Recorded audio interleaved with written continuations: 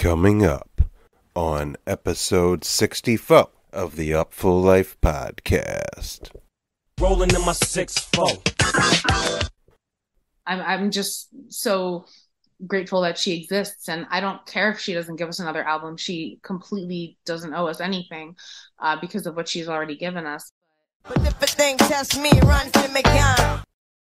What I think happened when you put that much pressure and you put that much adoration and you put that much responsibility on someone who was only 23 years old. You know, she was 23 when Miseducation came out. And you put all of that onto someone who was at that point had a child and was pregnant with her second child. So she's got like two children and she's going through heartache again, you know, reliving it with this album after having had this monumental success at the age of 21. It takes its toll on the spirit. Hot damn hole, here we go again. You know, I've been a Kim fan forever. You know, um, Lil Kim is the reason why I became a hip hop journalist.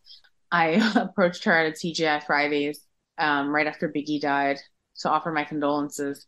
And she invited me to sit down and have dinner with her. You a chicken head? But I did want to talk about how what she endured and then also how the music industry was so ruthless in practically blackballing her for leaving.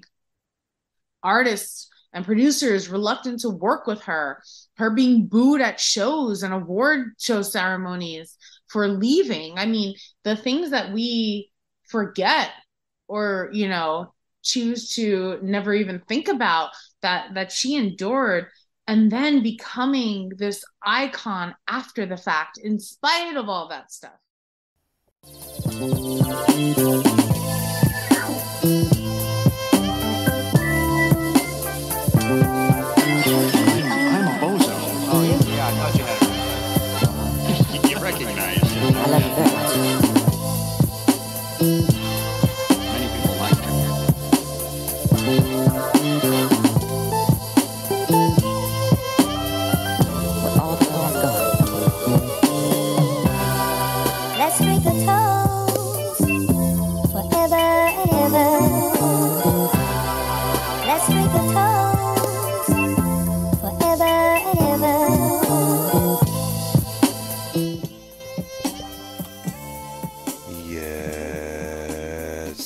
Yes. Welcome to the Upful Life podcast. I'm your host, B. Getz, and this is episode number 64, coming at you live and direct from the Vibe Junkie Studios in Oakland, California. And we're taking it back to Jersey, New York City, Philadelphia, hip hop, the ladies, the ladies. So grateful you are tuning in. Yeah, man, I tap and cut it. Oh, so hardcore crew. Uh-huh. But tell them kings of the earth, come to yourself. You cannot chase every skirt to you in the reach your wealth. Man of the soul, where is your meditation? Feed the black child, the future generation. Oh, kings of the earth, come to yourself. You Me no cannot play chase boy, every me no skirt play to you Greetings, dearly beloveds. If you enjoy the Upful Life podcast, you have the time and are so inclined, please consider leaving a rating and or a review, preferably on Apple Podcasts, but really on your podcast platform of choice. Rating and reviewing goes a long way to steering those algorithms in this direction, bringing us new listeners, new ears, new souls, spreading the Upful Life vibration. And that's a good thing, fam. And now, if you'd like to hit me up directly, feel free to send me an email b.getz at upfullife.com. That's b.getz at upfullife.com. I love to hear from the people. So if you have suggestions or reflections or constructive criticisms, send them my way. b.getz at upfullife.com. And if, you know, you'd like to support what I do on the pod or in the written music media thing or just kick me down a few dollars for making you holla, Uh, you can do so by going to upfullife.com. Just click on that support button, the top of the website, and send a Venmo. We appreciate you. Give thanks. Upfullife.com. Yes, indeedy.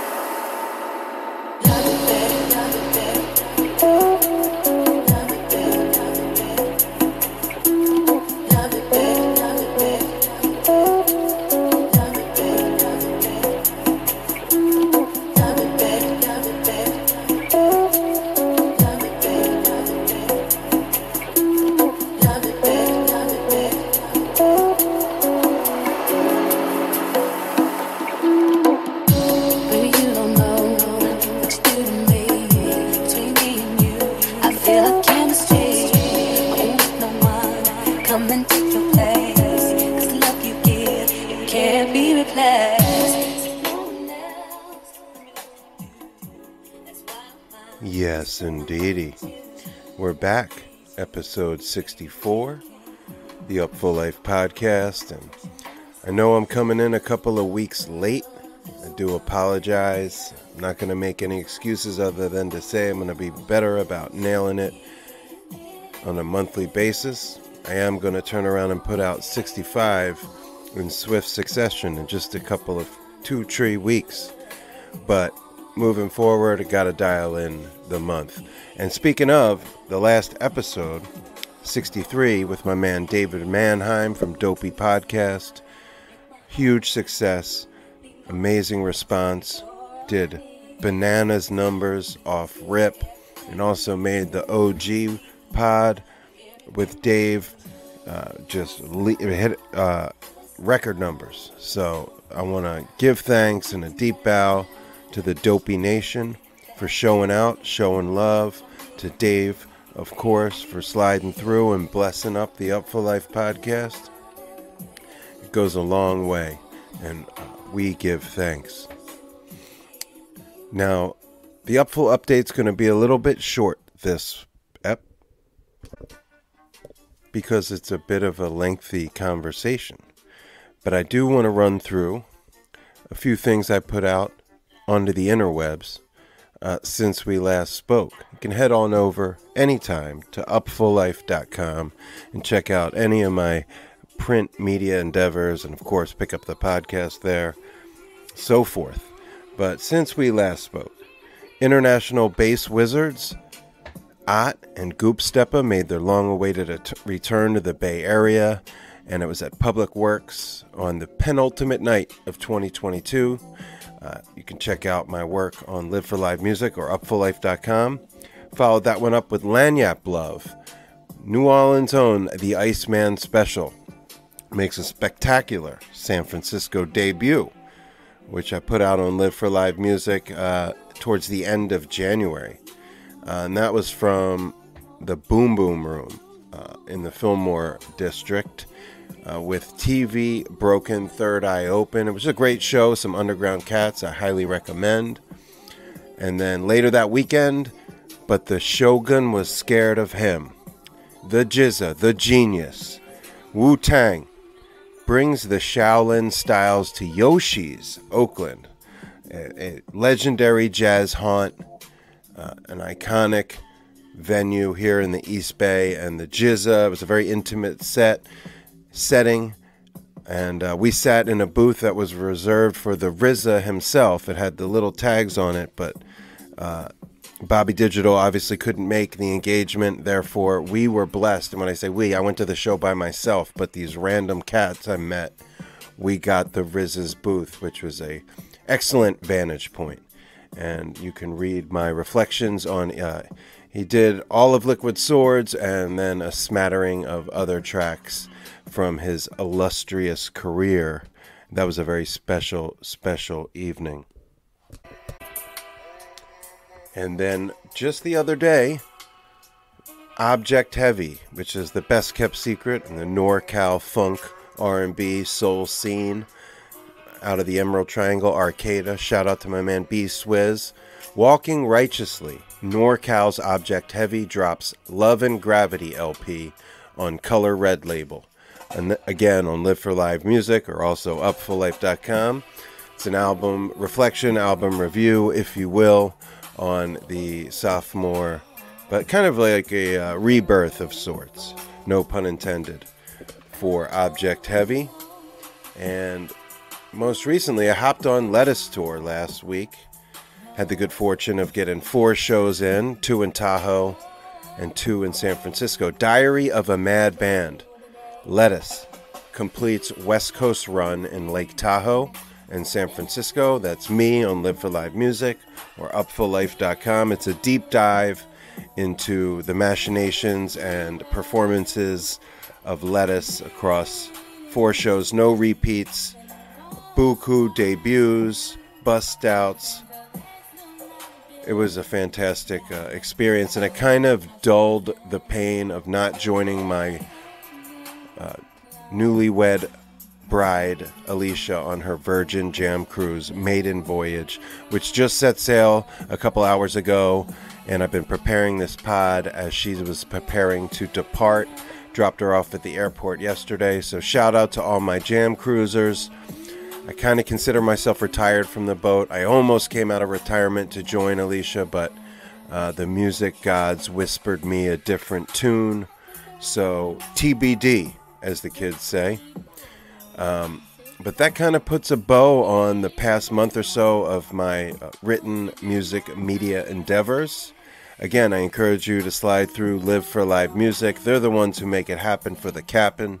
And I'm so grateful to Live for Live Music. And again, upfullife.com for all the things. Hello.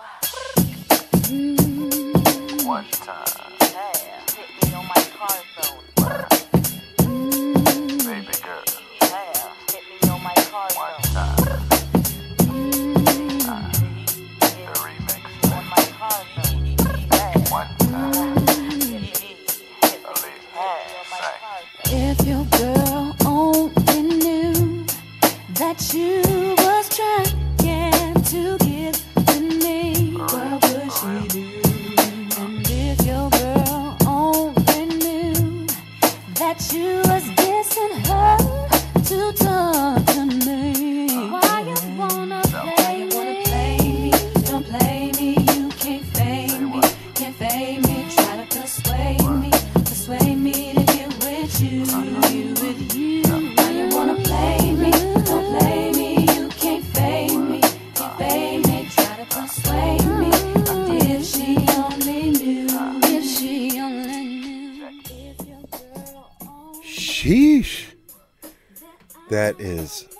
absolutely John Blaze shit right there. That remix. And it is my honor and privilege to welcome to episode 64 of the Upful Life podcast the great author, journalist, educator, Kathy Iandoli. Now, I've been a fan of Kathy's for longer than I even realized because she's been writing about hip hop and music and culture for a couple decades. And she's an old school Okayplayer, even deeper than myself. Uh, she goes way back and, and she'll get into all that. But as listeners know, I went to Okayplayer University. It's really where I got my thumb on the pulse of what's happening. So to know that Kathy was an integral part of that website, those message boards, that community, really just kind of affirmed that I was on the right path, trying to connect with her and also, in a lot of ways, emulate her. She's made a lot of moves and carved out a hell of a career for herself, which we get deep into over the course of almost two hours.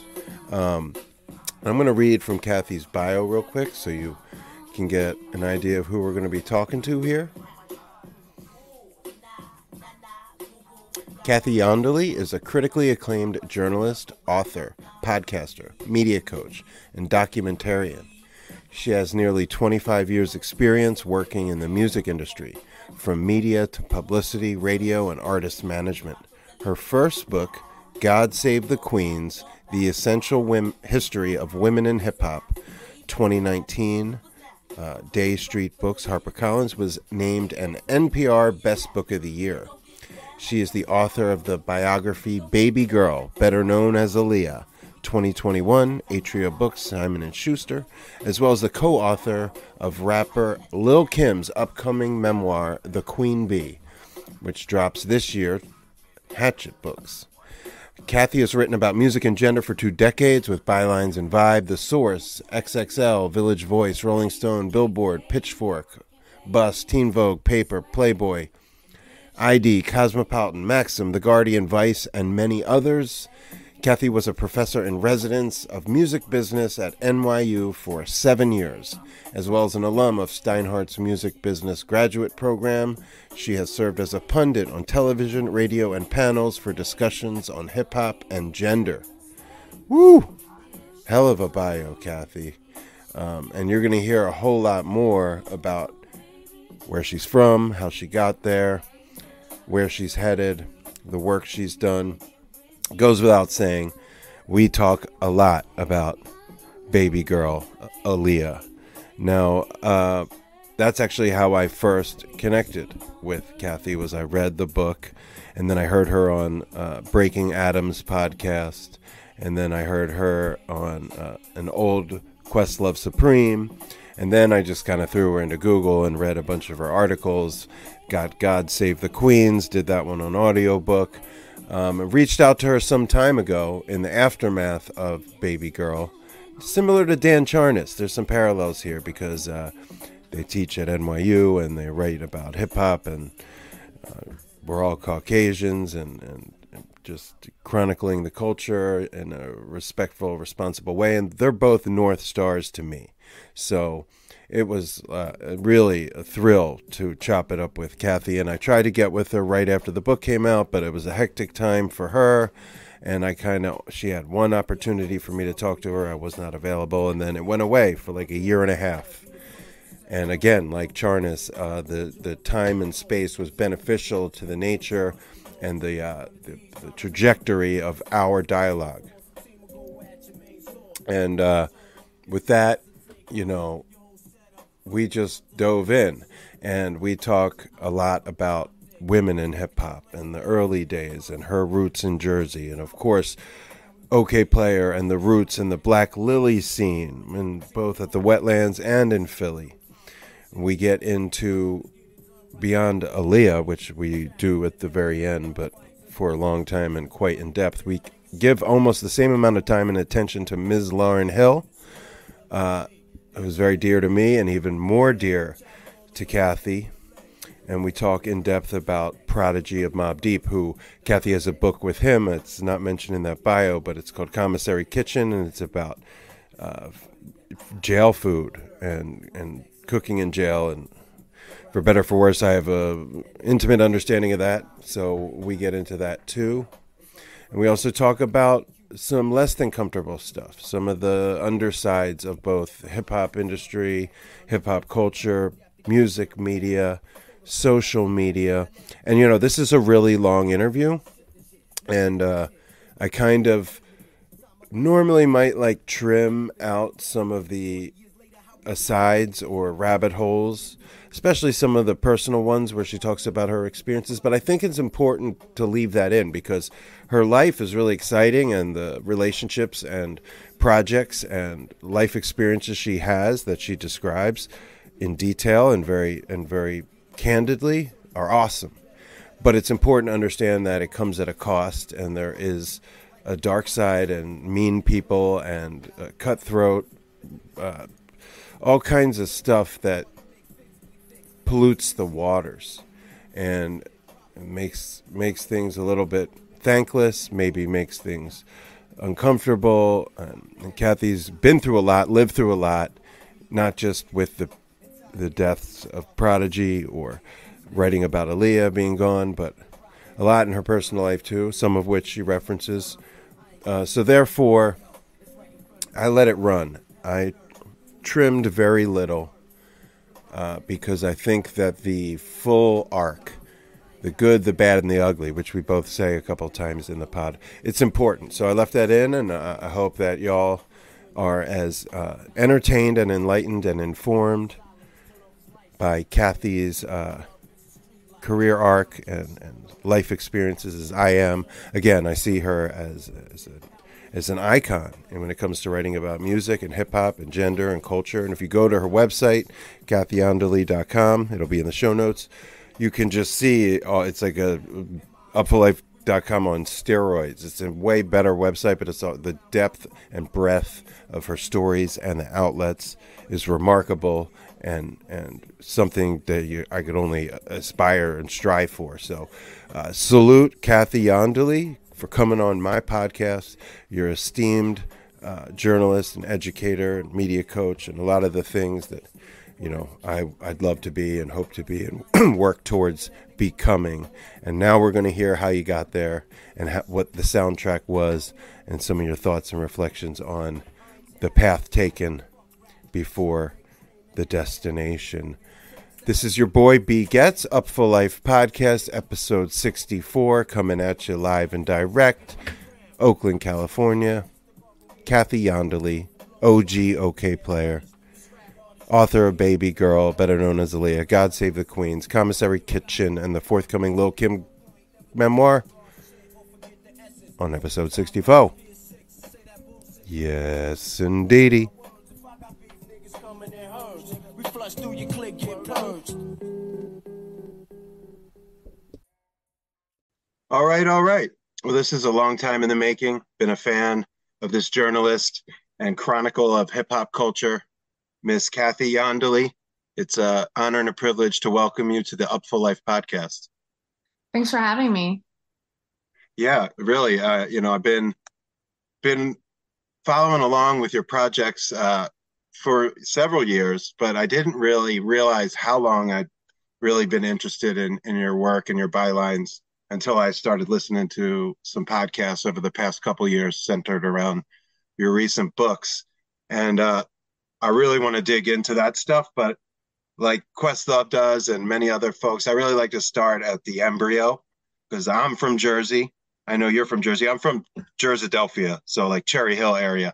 Oh, I know yeah. you're from up, up North Jersey or the, the New York side.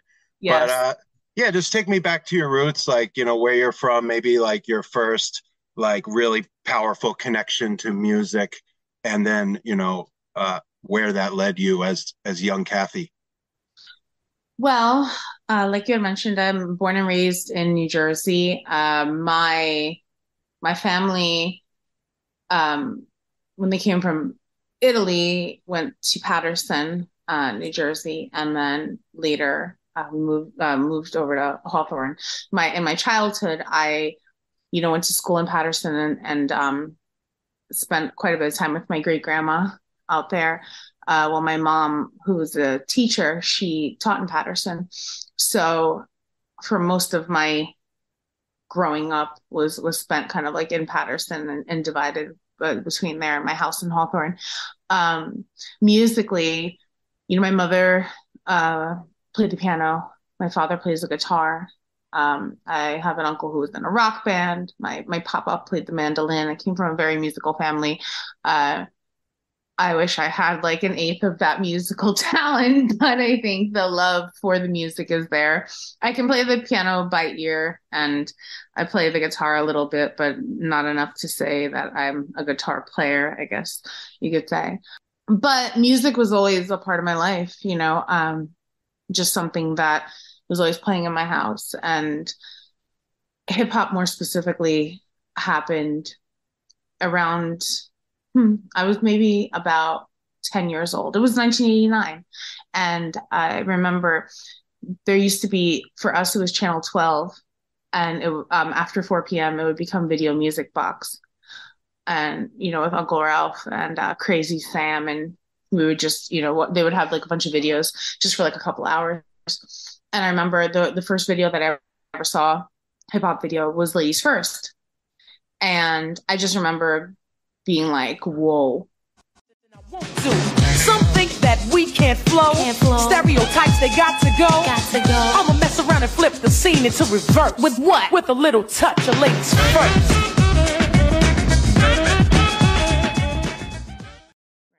because you're you know i'm coming from the new kids on the block bell biv devoe like new edition uh era and then i see this video and i'm like wait and i think from that point on i really became more just like taken by hip hop i mean especially two years later you know uh, tlc came out like that was like game over for me when when uh when TLC arrived. And from there it just kept going. And it was around well in 96 I got my first job at a record store and I was working my the first the week I started I think it was I forget which release had happened. I think it might have been Lil Kim's album release, but you know, it was like in, in the uh, Ill Na Na and Hardcore uh, were released in tandem. So I was kind of in the heart of that. That was right when I, I got my job at the record store. Nobody do it better. Bet I wet ya like hurricanes and typhoons. Got buffoons eating my pussy while I watch cartoons. So I got to watch like in real time, just kind of like this mass hysteria that was happening. And a couple years later, I started working with the Roots and started writing, and it just kept going from there. Uh, it, it's like music has just always been a part of my life, and I think I'm like really lucky when I can say that it's most of my career. Uh, The other part is just really writing if I'm not writing about music or teaching about writing. So I'm just, you know, really fortunate that I was able to watch my mom play the piano or my dad play the guitar, and now I'm here. Long winded answer.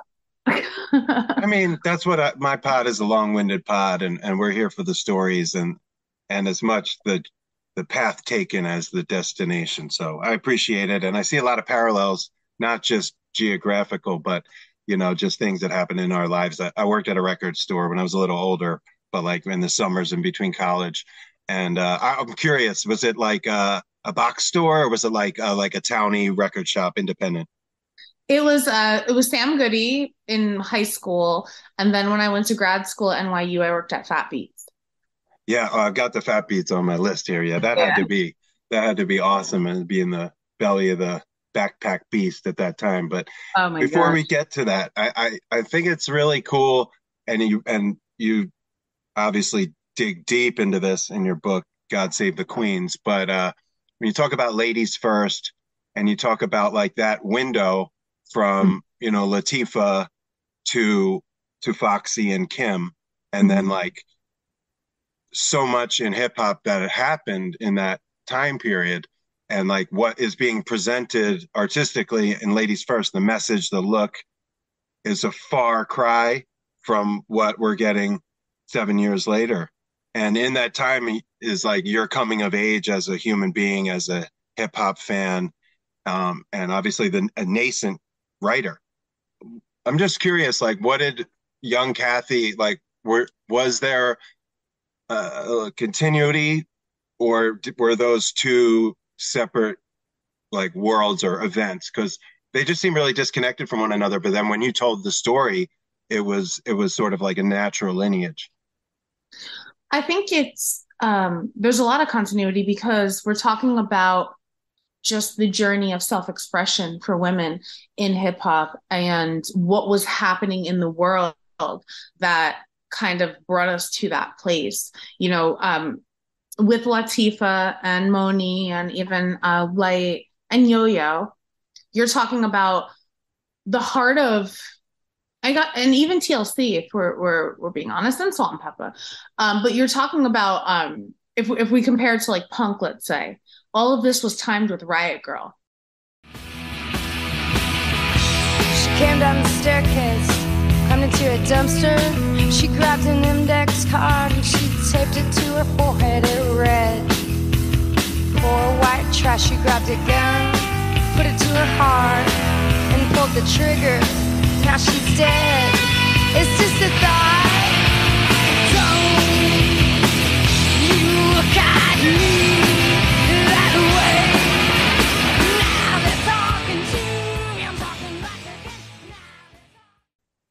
so there was like rebelling against something bigger that was happening. I mean you know 19 um 1992 was marked the year of the woman because of the number of women who are on the supreme court in the country. And it was also the year um, with the highest percentage of sexual assaults happening against women. So you're talking about this like kind of like crazy imbalance that was happening in the country at the time. So all of these artists were kind of raging against this machine that was was being built where it's like it's like this you know in one minute you're bringing women into the supreme court and another women are fearing for their safety in a society that is completely unkind. So the music was timed to the era.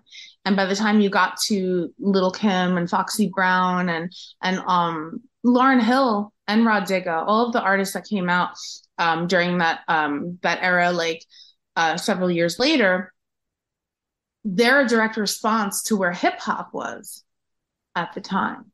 You know because you're you're the glow up of the notorious big and jay-z and even nas even though he had come out um, a few years earlier uh, but you're talking about like that 96 right was kind of like this moment where hip hop was um, on the verge of going massively mainstream and then when um, when Tupac Shakur was murdered in September of 96 and then Biggie in March of 97, the music industry started to become like super fearful about hip hop.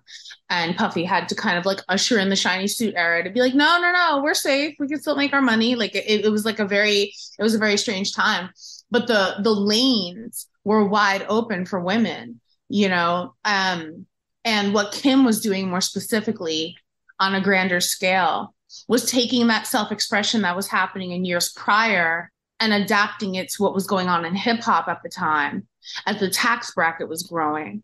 And then you have other artists who kind of um, you know, kept the ball rolling in terms of innovation, like Missy Elliott, who released her album in 97. So this whole thing is like happening so for someone like myself and like let's not even get into Lauryn Hill yet because you know how i feel about her but when you have someone like myself an impressionable Kathy who is um at that point 18 years old it was kind of like time to where i was going as you know becoming a woman right um so for me i kind of like i i grew up with these women you know that like every every milestone from my 10 year old self until even now has been celebrated with where these women were in their own careers and the music that they were making.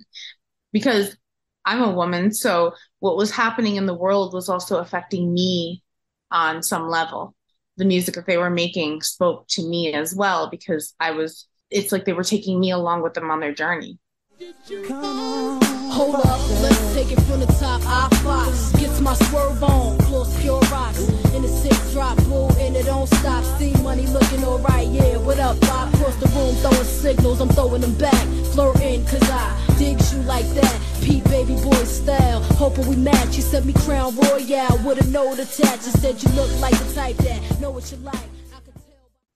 That's that's dope. And honestly, like to hear you put it with like signposts of your own coming of age, matching it to records, specifically women, uh, groundbreaking artists of that nature is it's clearly why you were called for these projects because you have a personal connection and sort of a lived experience that is connected to the work yet objectively uh, you can sort of assess where hip hop was where women were where politics were supreme court all these factors that the average person wouldn't consider having any kind of effect on why a record came out at a certain time. But when the you put the lens on it like that it's really interesting. And and yeah i mean i i came up for me i watched some of the box. Uh it was a lot more of yo. Uh, Mhm. But I mean, I remember seeing the Unity vi- UNITY video and Who you calling a bitch? and seeing Yo Yo for the first time and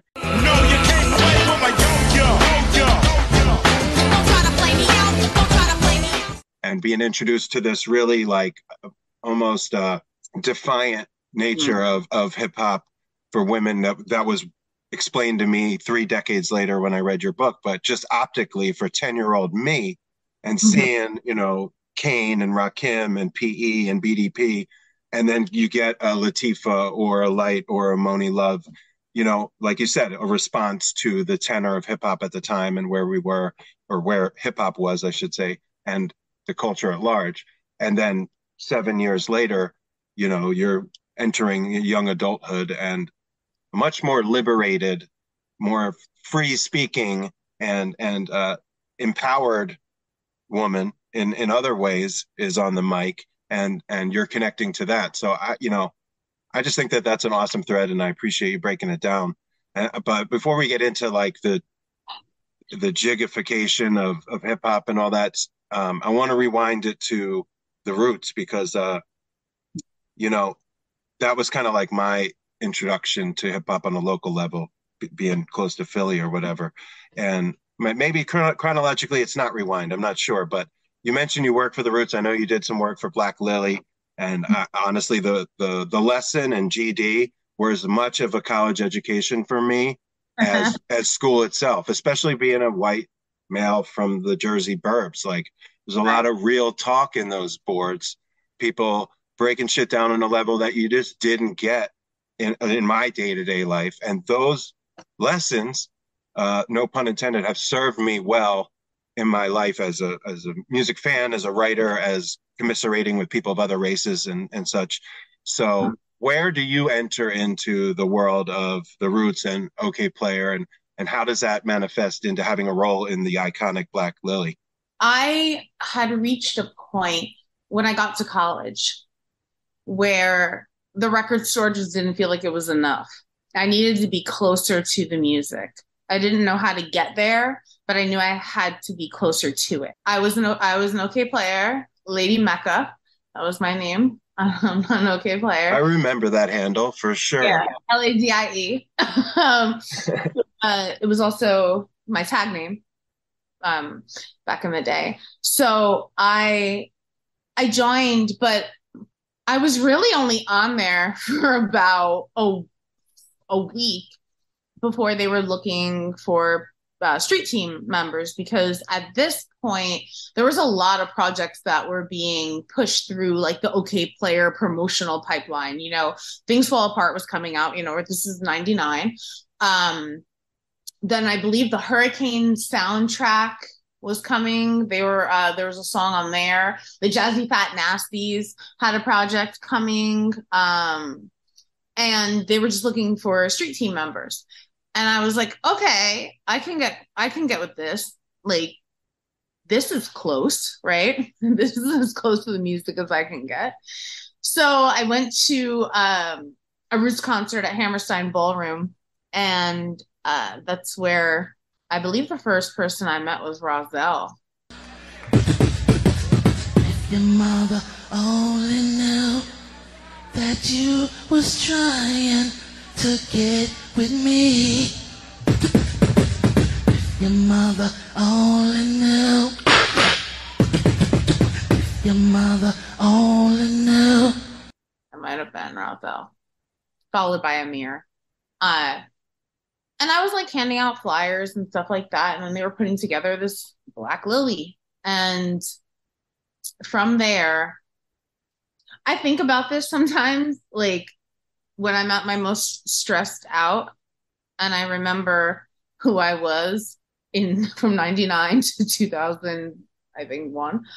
Uh, I had so Black Lily was on Sunday nights, and it really didn't pop off until like midnight, right? Like you could get there like at 10 o'clock, but for what, right? Um, so the best stuff happened in between like 12 and 2, right? Right before um, it was wrapping up. So I would I would get there, I would like head into the city. You know, I lived in Jersey. Um, I would park kind of near, you know, because this is at the wetlands, RIP. So I would park near the in the vicinity of um of Black Lily. There was a homeless man who had built kind of like his, his little makeshift home right near where I parked. So I would bring him dinner um, on Sundays and like a donut. Uh, there was a Dunkin' Donuts right by my house. So I bring him a donut and some dinner, and he would watch my car, right? And um and you know, not that anybody was really going to like steal a neon espresso, but he was he would always just watch my car for me, and um and I would bring him dinner. Um, and he was always like super kind because when I would walk back, he would like wait for me, like super cool guy. Um, so I would get there, we would you know promote do whatever. They when they had the open mic i mean that's where everything just went like whoa. And i remember my first night working black lily was the night of like the changing of the guard where scott storch formally left the roots and kamal formally joined. And they were telling scott was there and they were like scott um tell everyone what you're going to be doing instead. And he played the opening keys to still dre. Right.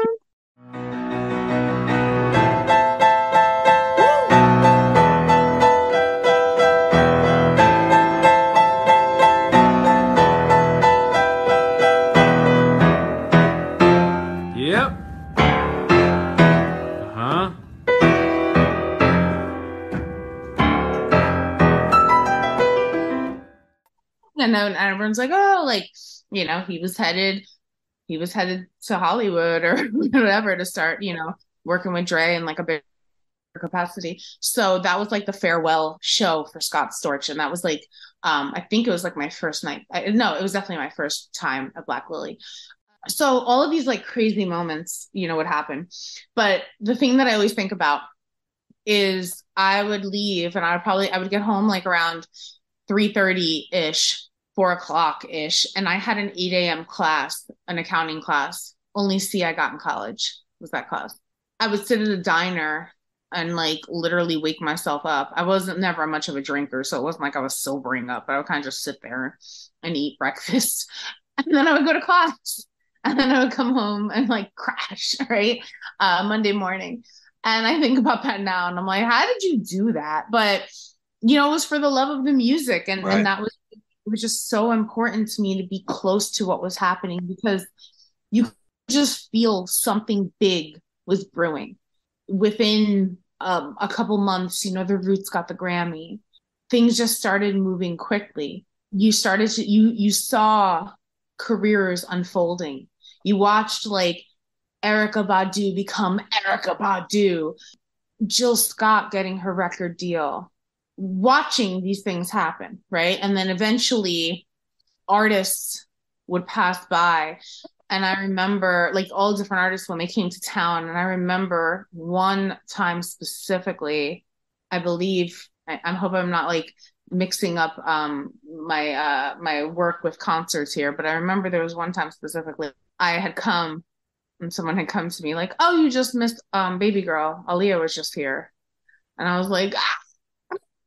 Like, and, um, that was like one of those things I was just like, "Oh my god." Because you know, yeah, those were the kind of like the situations that were happening. These artists would just come in, experience what it was that the Roots were building with this community, and then you know, leave. And uh, it, you don't get that anymore. That you can't, you can't make, you can't manufacture a vibe like that. So we gonna start it off right. Can I get the okay? Can I get the okay? Can I get the okay? Can I get the okay?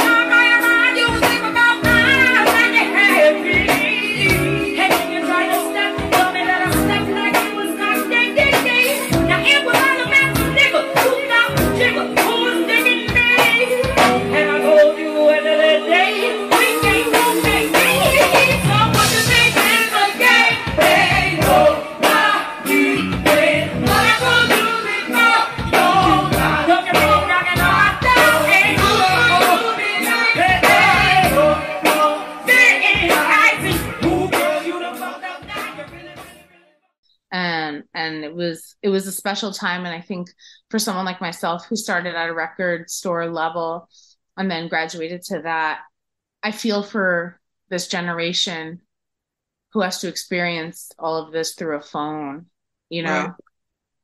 because there was there was magic being in the pit or the magic in the human interaction watching these artists interact before they be, before they became themselves Yeah, it was it was such a glorious time and and yeah, when you talk about Black Lily, like I got to go to the wetlands for Black Lily once, but the other part of my DNA besides like hip hop and the roots, whatever, is like Grateful Dead, Phish, hippie shit, and that was like home base. Wetlands was like home base for the whole hippie scene. That's how I got hip to that there was Black Lily there. I was there for another event and saw, you know, poster whatever. But then, you know, living in Philly, uh, Black Lily it was at the five spot on Tuesday nights, and uh. it was around the corner from the record store that I worked at, which was called Sound of Market. So I had the good fortune of attending a number of the Black Lilies there. And like I said, just much like the boards, it was just like an education for young me. And and in retrospect, just being in the room for the Jazzies, for Kindred, the family. So like just amazing women Jaguar Wright came through. Like there's, I'm trying to remember. Um, three seven thousand nine um the lead singer was uh new Ra, and then flo brown Flo Brown, right? Yeah, her. Um, what? Ursula Rucker. I mean, like, just a really incredible. And again, just introducing me to stuff that I wouldn't otherwise find, and that really worked like in concert with being on the boards and and hearing discussions and who inspired who. And uh, and while that's going on, the whole Soulquarian Revolution and Electric Lady, all the records you referenced, Badu, Jill Scott, D'Angelo, Things Fall Apart, like Water from Chocolate, Bilal, all that to say like you had the ability to exist in that world at that time and make relationships and have life experiences that set you on your path. Meanwhile, you're at NYU. Is that that coincide with working at Fat Beats and Yeah. being like in undergrad? So oh no uh, grad, grad grad graduate school. Okay. Um, so take me through that a little bit because then you're we're talking about the the wars, the backpack versus Big Willie era. What team are you on? And I mean, even even the Roots got caught up with that on MTV Unplugged. But uh, what was the Fat Beat scene like at the apex of the underground revolution? it was an interesting time because you know where hip hop was it was just such a strange world that had gone on from um from I think like 99 to 2004 or whatever. Like that that 5 years was really it was beautiful but it was toxic right? Because I think like we're coming off like 2 years prior to that where the the shiny suit era came in. And I actually didn't know as a complete aside I always knew we called it the shiny suit era because of like a suit that Puffy wore. But I didn't know until I wrote my Aaliyah book that the shiny suit was um, designed by Tommy Hilfiger. Um, and it was a relationship made by Andy for Puffy to wear it at the VMAs, which ignited that entire era. That's a total aside. Um, but A good nugget. Yeah, it, it's it's a it was um it was just something that for me like when I was like doing the book and doing my research like I was like kind of nerding out at that that and um in the book um knowing that um Aaliyah was cousins with a member of Boot Camp Click. That was crazy.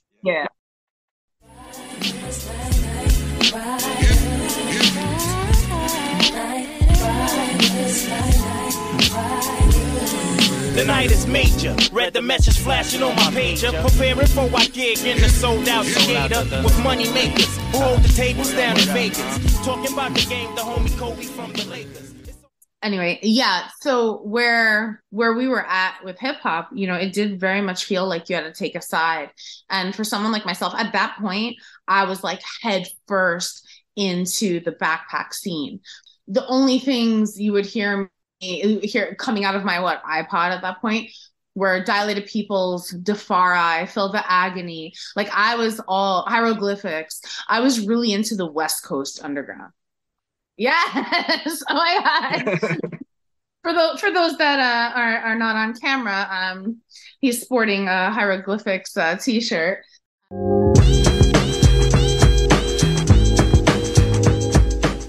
Yeah, like that was all me. Like that that world, I was just completely like sold. I mean, you know, we talked a lot about women in hip hop coming up, but like my favorite group, um, male group coming up was Gang Starr.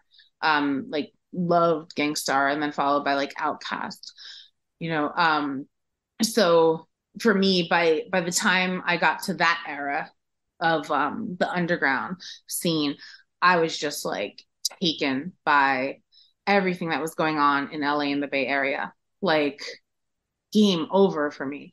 Um and it was like worlds colliding on uh, worst comes to worst with like, you know, Guru, rest in peace, being on the track and uh with uh, you know, evidence and Rakaa and Babu and and then a further um the the sample of Prodigy Worst come to worst, my peoples come first. Word up, if worst comes to worst, I make whole crews disperse. You know it's family first. Gifted unlimited with dilated people. Babu, evidence, Iriscience, and a shout out to my man Alchemist on the first. you know it's just like there's there was just like a lot right and i think like that's where Mobb Deep also came into my life by way of alchemist going like you know being a fan of alchemist who was super cool at evidence and then alchemist coming and working with Mobb Deep Hey yo, I break bread, ribs, hundred dollar bills, pill on the cotties and other four wheels. Write a book full of medicine and generate mills. Tour the album only for more sales. that i think is where my real passion for Mobb Deep came i mean i was always a fan of Mobb Deeps um, especially since they used to perform at um, the skating rink in new jersey called the rink. That time period there was something so special about what was going on because there really was separation between church and state. I think a lot of what Rawkus Records was doing was really just incredible at the time. You know Mos Def like oh my gosh like sound the sound bombing uh projects like holy Yep. cow. That when i think the that's the kind of music that when i listen to it i was listening to dilated today as a matter of fact and like it just hits it hits my heart differently. But hip hop more specifically was like in an identity crisis right? You know because really what was happening the mainstream was um adapting to the needs of the greater mainstream hip hop world while the underground was rebelling against it. And like the spoiler was that both were equally important. Hip hop had to evolve financially too. Like artists needed to be able to have access to the money to afford kind of like innovation and evolution. But they still needed to remain pure of heart with what they were doing. And I think like it was a confusing time because you know the marketing machines that were surrounding both worlds were kind of creating that divide too. Um and i and i do credit groups like the roots for kind of being the difference right? Like i think they were kind of cut down the middle. For me i always kind of had this back and forth with it because i was such a Lauryn Hill fan who could rock with either world like seamlessly. So that like that time period and I, I completely like went the other way you're asking about fat beats um It's all good. I love rabbit holes. that was an interesting time period for me because I was a writer starting out and the I didn't write for Elemental, right? I didn't write for Mass Appeal. So for me, the the artists, the groups that I love the most, it was really hard for them to like show up in the source. You had to kind of fight. And and the thing that was so crazy about um hip hop journalism at that time was what um if you so much as like introduce artists like that in the underground as like your taste it was like you were marked. Right. Because you then it was like oh you know take that shit to elemental or stress. Remember stress? Right. Yeah. Take take it over there. And you know, it it affected your ability to cover the artist while also like loving the artist. So for me, I had a big win because I was writing for the also for this magazine called Rhyme, R I M E, that was based out in LA. And they let me do a feature on Tonedeff. Cause I was like, oh my God. Um, East Coast wise, I was heavy into QN5. Oh my God. Um, extended fam, like, oh my God, CunninLynguists. Like I was like super into QN5. So they gave they allowed me to do a feature on Tonedeff and that was like such a big deal to me because I had covered tone with extended fam um on at all hip hop as like my first piece. I was supposed to cover um another group who mistook me for a groupie while I was there um and called me a chicken head and EFAM like kind of came to my rescue and they were so kind and their music was so great. That's when I became like a, a super QN5 fan. So um when I was at Fat Beats, bringing it right about all the way around, uh, um, it was cool to watch like, you know, Alchemist would show up sometimes, getting to see like your faves like in real time. But I'll never forget this one time.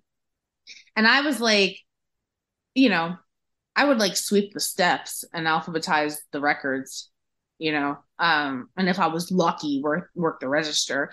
Um, and then if I was super lucky, uh, get to work the turntables in the back, right? So, and I could not DJ to save my life at that point. Um, I want to shout out Deep um, from the Two Hungry Brothers, who would like try to teach me how to DJ. And he's like, you gotta grab the drum and like show me how to grab the drum, right? And it was like, it, it like I just give him so much credit because he he spent a while trying to teach me how to DJ, and let's just say I could never be a professor of DJing. Um, but I did know how to blend really well, and I knew how to like move like one song into the next. So anyway, long story short, And you got I'm taste. DJing. You had taste. Most important. Yes, yes. I had an ear. I had an ear. Yeah. You know. Um, my favorite thing to do was Alchemist had a, um an instrumental album that he had released. Um, and I had the Saturday morning cartoons. And I used to put the Saturday morning cartoon sounds over the Alchemist beats, and people used to be like, "What?" Like, and it just, I really felt like I was like, I was like on some shit when I did that. I was like, yeah, like I, I thought I was like premiere. Um, but uh, I one day a super underground artist came and um like I was like really razor focused on on these two records like I was like you know like like I have to get this right. And I and I remember what it was too. They had I was trying to get you remember Captain Caveman? Captain Caveman? Yeah. yeah.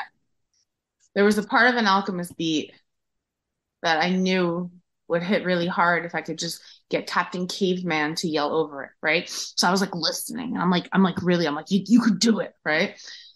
And this artist comes up to me, and he like puts his hand up to give me a pound, and I'm like, like I, my hands are like hovered over, like I've got one hand like touching the fader and then i'm like i got my other hand on my headphones and i'm like no like you can't have my hand right now.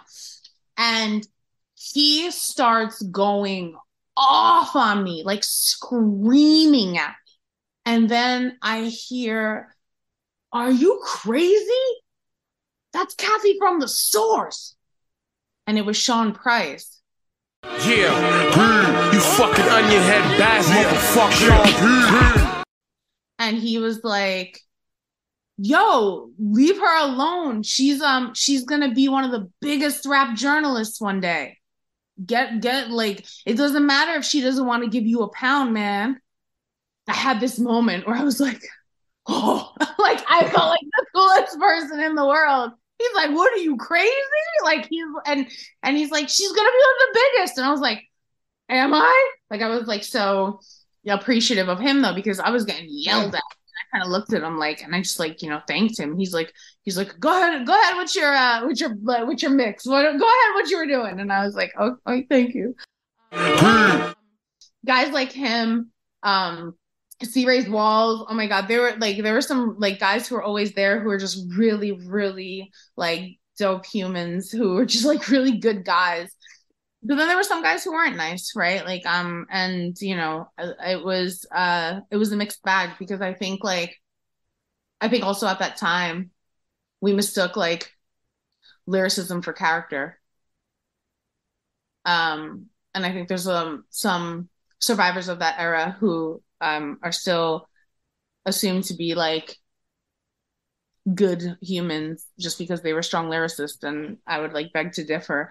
But I think like during that time period um those guys were were super cool. And um and a lot of the guys who worked with them like um you know my dude Abacus he uh he worked with um oh my god and Pen was really dope. Breeze Overflowing. Um, I actually did liner notes for Breeze, I believe. Love Breeze, Um, yeah.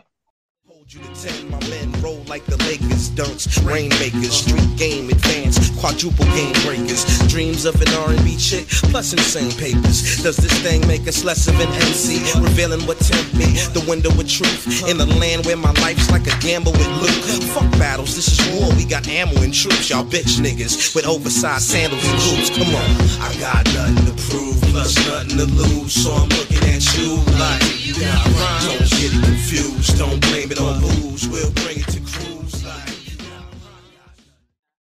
just really good really good dudes like where you you felt like safe around them like i like and and as a woman coming up in the industry that's really all you wanted was um a to be respected and understood for your place being there because you know you weren't i wasn't there to um i was there for the music. And i sound like i'm an almost famous right?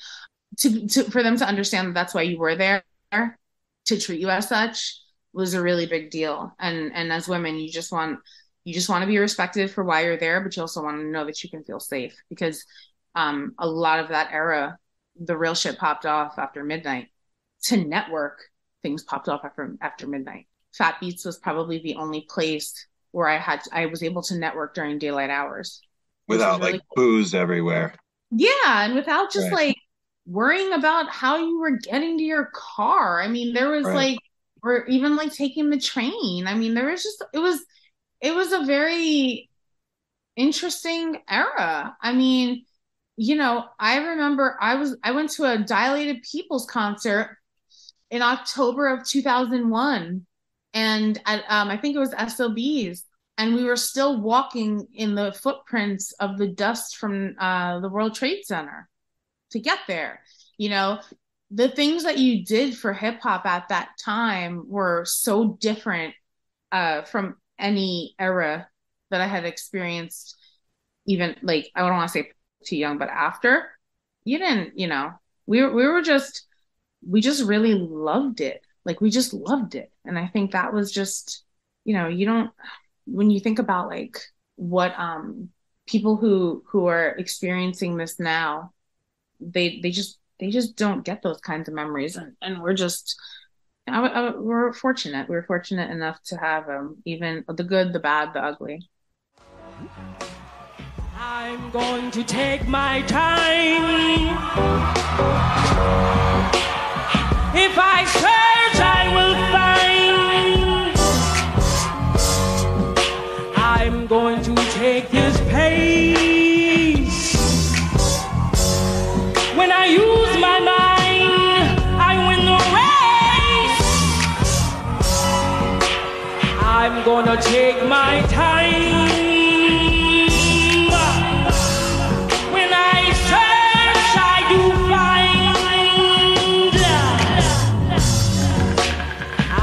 Gonna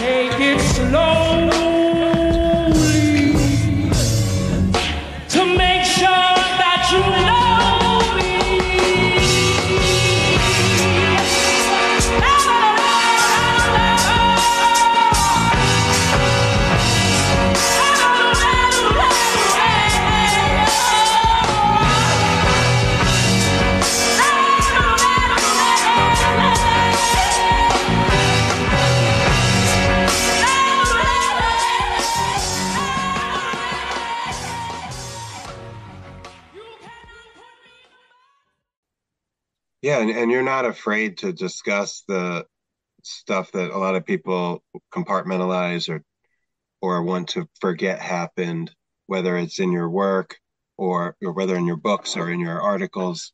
Um, you've always kind of just spoken up and centered women, and I, I think that that's you know that's pioneering in the hip hop space in journalism for sure. But uh, I, I definitely want to get into the Aaliyah book. But before that, you referenced your passion for Lauryn Hill. I'd have to say, you know, Miseducation is one of my favorite albums that transcends genre. I mean, like 10 favorite albums. It was like my breakup, find myself record in real time back then. You know, anytime you're coming out of a partnership, it is really something strong to lean on. And then in the aftermath of all that, especially since she, you know, hasn't released another like full length LP of original music, Mhm. it's just been this iconic like cannon blast of of one human's condition the good the bad and the ugly Someone play young Lauryn like she done.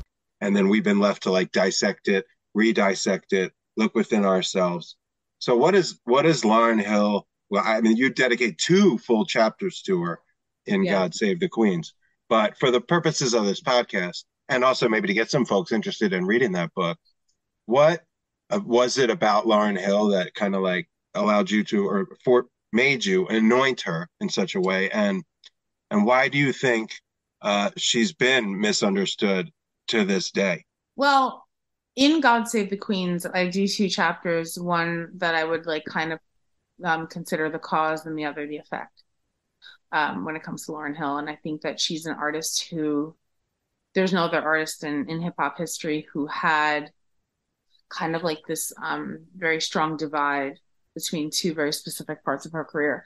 So that's why she got two chapters. It was beyond my like loving her, but it was um, what Lauryn Hill did for hip hop is um, always very unrecognized. Um, and I'll get into that in a sec. For for Lauryn Hill, um, you know, I became a fan because I I actually be, I actually became aware of Lauryn Hill in eighth grade because um a friend of mine, his cousin was DJ Alamo. Alamo, is you with me?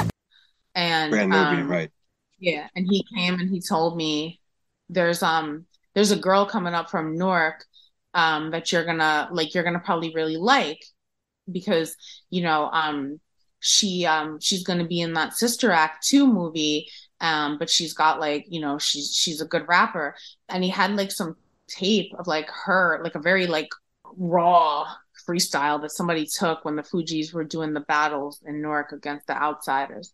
And I was like, oh my God, right? Like, and I was like, who is this? The waxy residue on your rhyme style is ridiculous. If you're misogynist, then you probably cannot get with this. If you sip with this, we'll leave no witnesses. Uh. See, nobody can touch what y'all bless, and I mean this. So I'll be like Osiris, ready to get the mices. If you talking females, it's to say that I'm the nicest. Why the sip, see, my crew,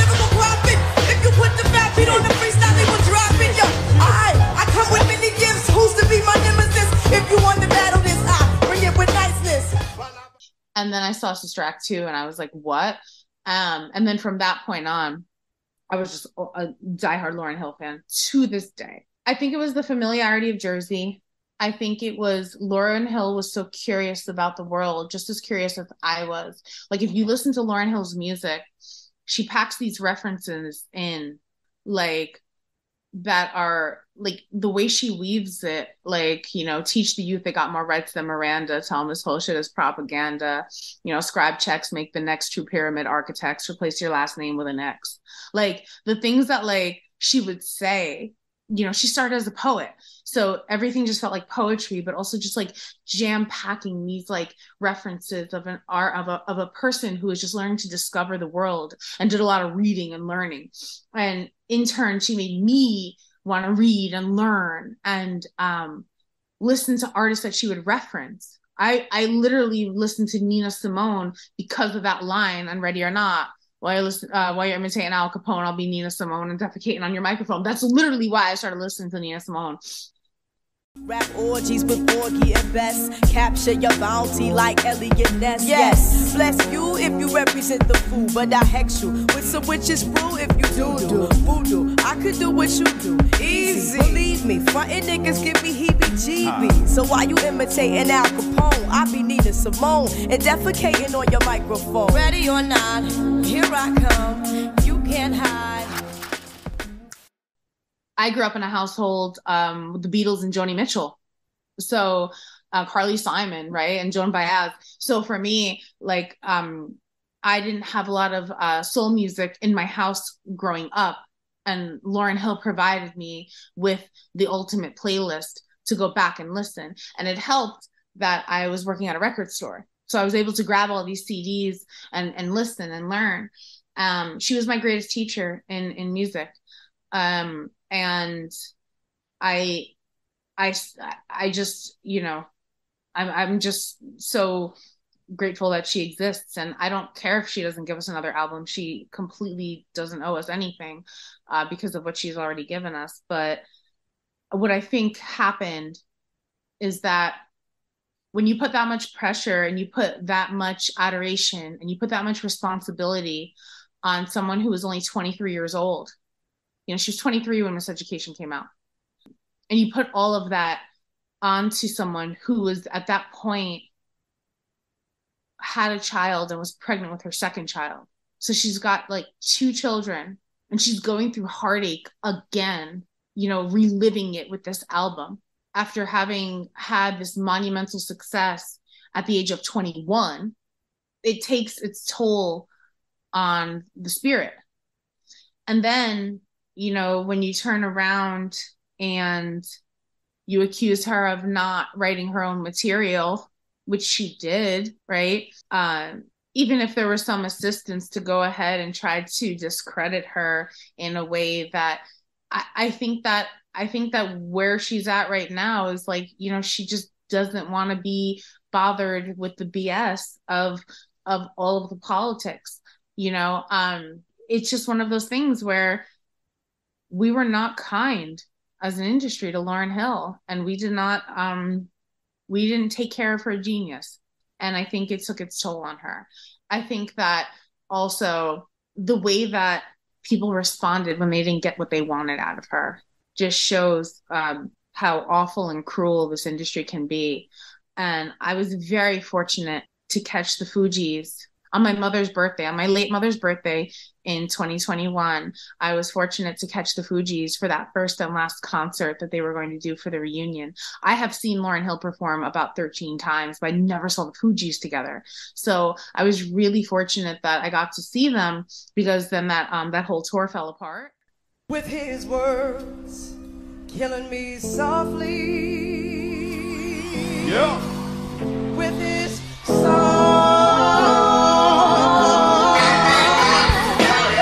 If you know this classic, let me see your hands up in the air right now. As we proceed, we got T-Box on the bass. I go by here, Wyclef, Roswell. Y'all know L Boogie. Ah, yeah. One time, one time. Hey, yo, L, you know you got that flavor. I heard he sang a good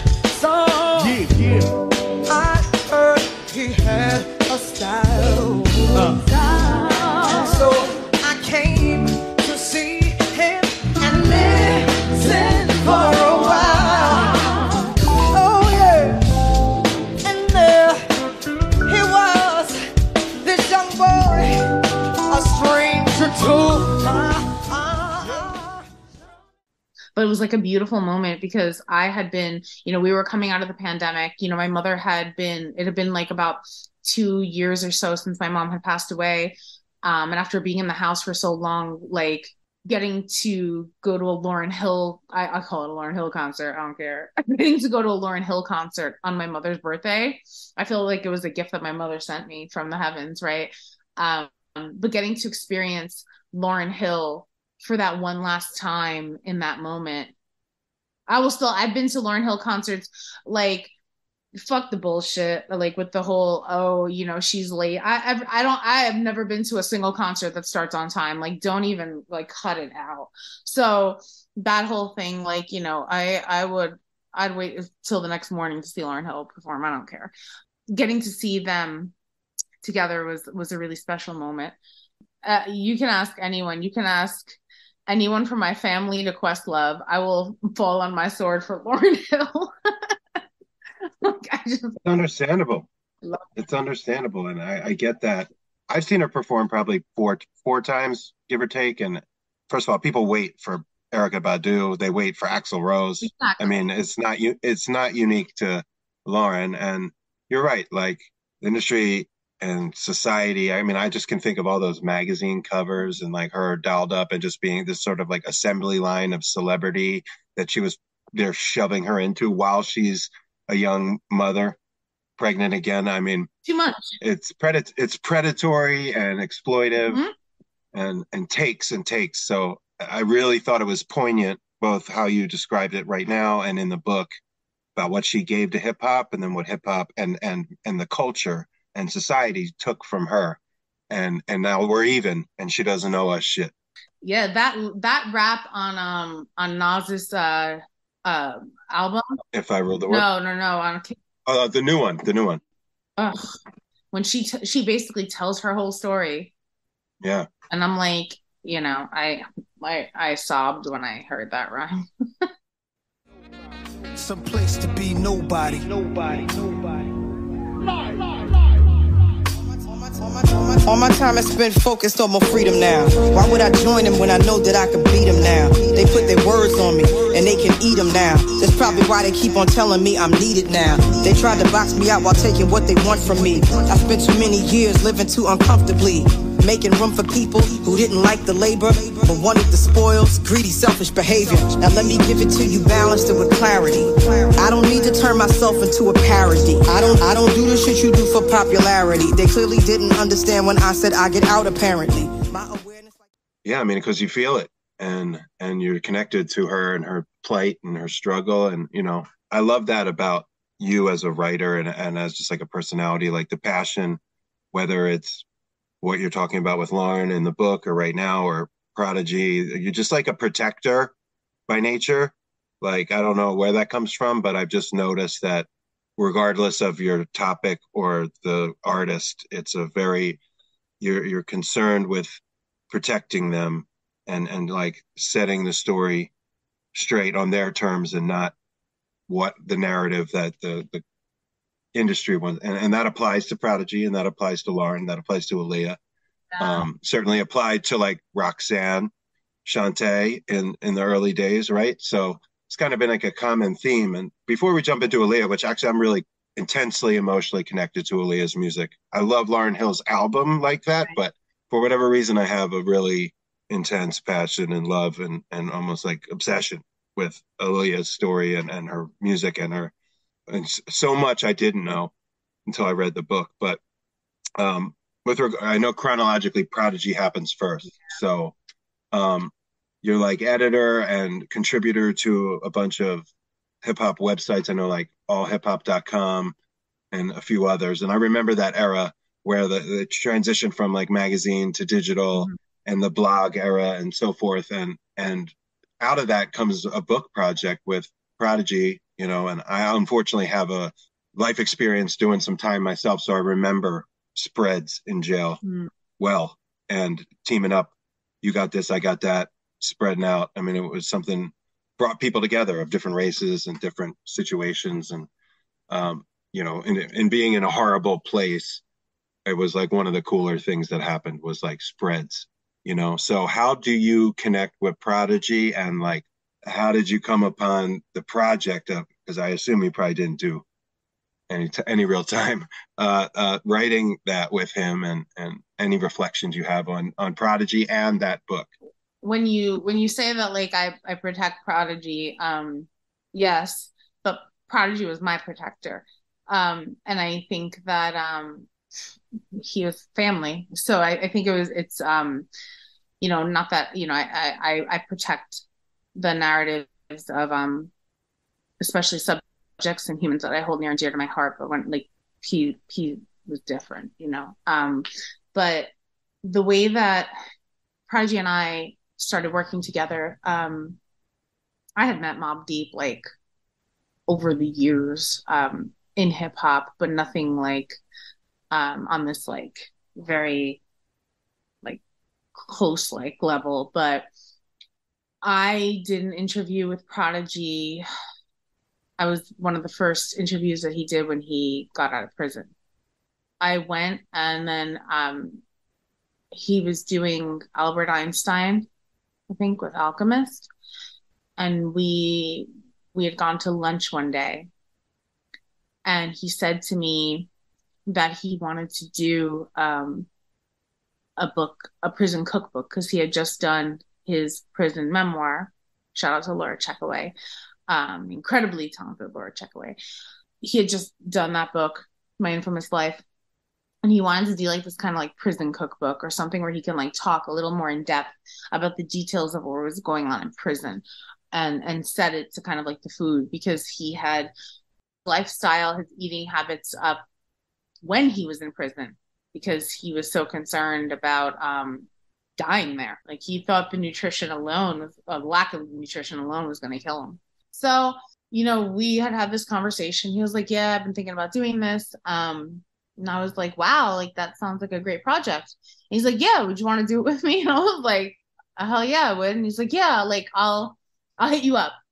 And I was like, okay, you know, I had done, you know, I done research, you know, for Jay Z's Decoded, but that was like the extent of like my book experience. I hadn't done like a book thing, you know, in a while, and I was like, wow, okay, maybe maybe he'll call me one day. And then sure enough, a couple years later, I get this call like, "Hey, are you ready?" And I was like, "Wait, really?" He was on tour. I think he was, you know, he was touring like Europe and like Dubai and and we were having this whole conversation like he brought food, he would bring food with him on his tours because um that's just how much he was just like so focused on trying to eat healthy and not getting sick. Like he didn't want to get like food poisoning. That was like a big thing for him to not get sick. We spent a lot of the time talking over like Skype and um getting stuff ready for for the book but at the same time we were also putting together a book that will never see the light of day now but it was called the state versus albert prodigy johnson and it was a book about what would happen with p with the hip hop task force after he got out and we kind of were doing commissary kitchen uh side by side with um state versus albert prodigy johnson. And like we just had like these like you know we were having a lot of conversations. And then when he came back here i would go to by him in brooklyn. And he's like where do you where do you live again? So i was like jersey. He's like you like it? I was like yeah. I was like it's cool.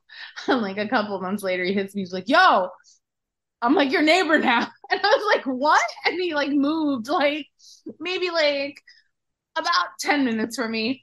And he would uh he would like send me ubers to like go and like we would like you know map out like what we were going to do with the books and stuff. So um but then you know commissary kitchen came out and we had this incredible book tour right? And like um him and his manager marvis were like the guys that like i mean i literally went and marvis is, is still one of my best friends in the entire world. So like my mother used to say like when I would go on these tours, I would have to be out like super late, or if I was up there like at Prodigy's house, my mom would like I would be like, oh, I'm heading to peace, you know, and like my mom always knew I was like super safe if like I was with P or I was with Marvis. Like my mother never had any worries, and like I still have her copy that was signed from P of Commissary Kitchen, and he put like to the best mom in the world. like it's just like, Oh, yeah, they had like they had a special relationship, but uh, you know, Prodigy, ah man, Stuck the heat through the window, rock their ass to sleep over a three pack.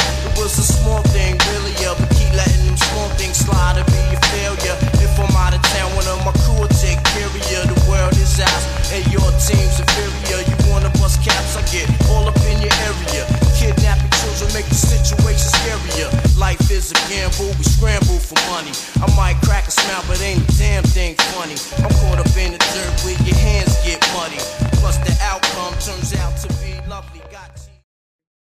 The day before yesterday, I was telling people, you know, when um when Lola passed away, you know, Gangsta Boo, who was another very, very dear friend of mine, I was telling a friend of mine, I was like, it feels like I lost P again. Um, and it's kind of like it's a different kind of loss when um you share that person with the entire world, right? It's kind of like it's all over your social media and you're just watching it all day every day it kind of brought back that what i felt which is now going on wow six years since pete's been gone jesus but that loss that happens you know um it's it, it hits differently because it's always in your face. Um and when people know and understand uh, your friendship with those artists they always somehow connect you to them. You know i'm still tagged in prodigy stuff. Um to this day if somebody spray paints a wall someone from france will tag me in that photo. And and i appreciate the connection and the affiliation. Um but for someone like myself who is actually still grieving you know it is harder to um you're just always seeing it right? And i and i do protect prodigy's legacy and i'll protect lola's too. Um but i have to say i'd be i'd be lying if he wasn't more of a protector to me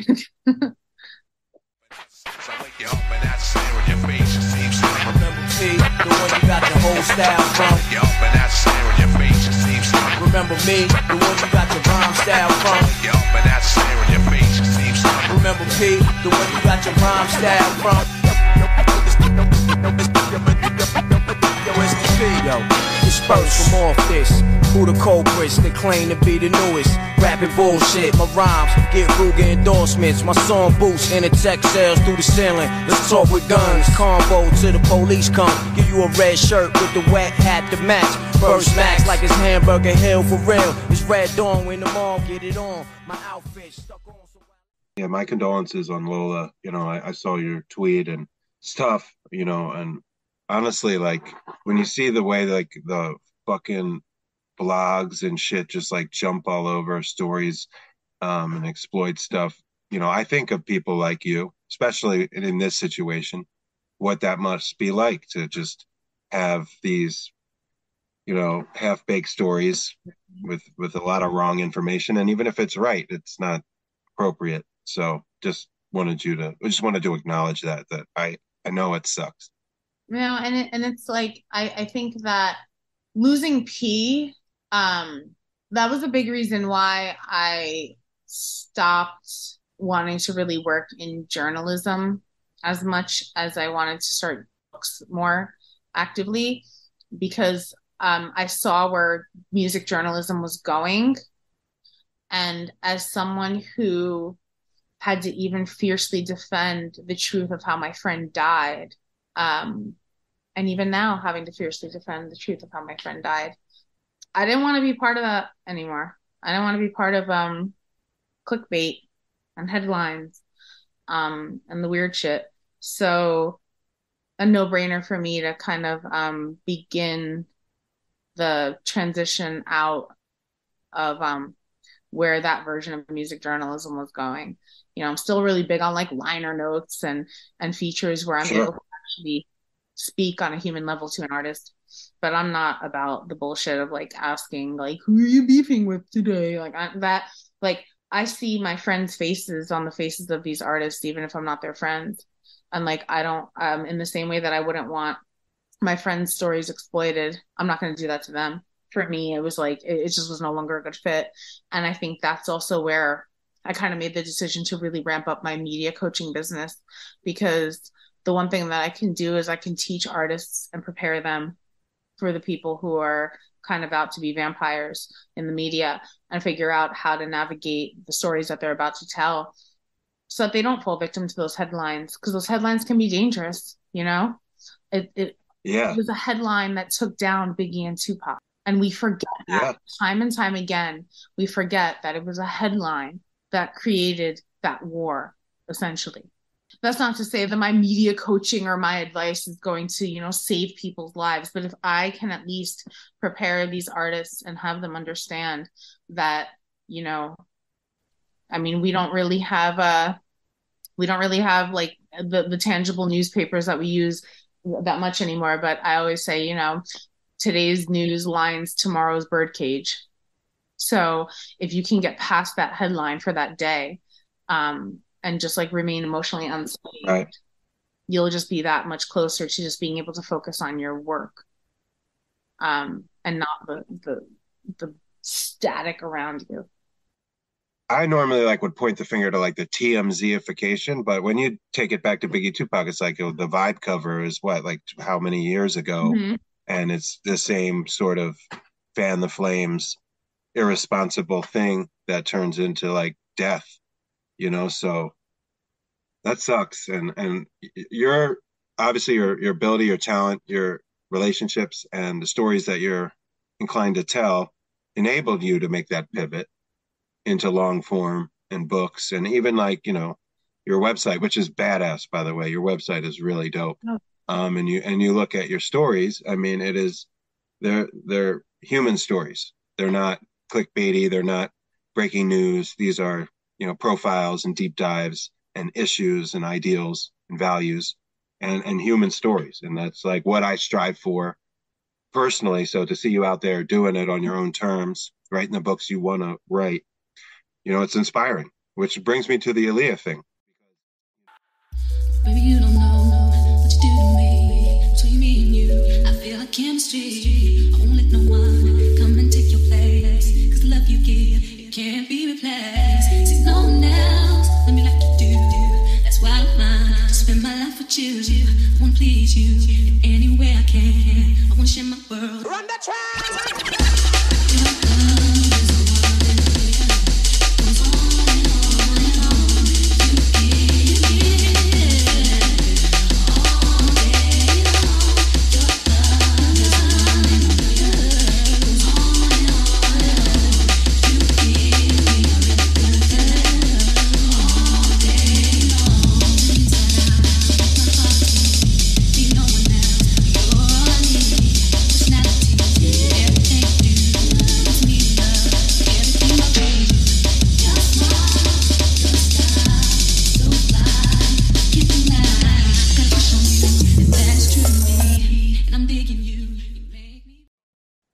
Her story was was told by everybody but her and she's not around to tell it.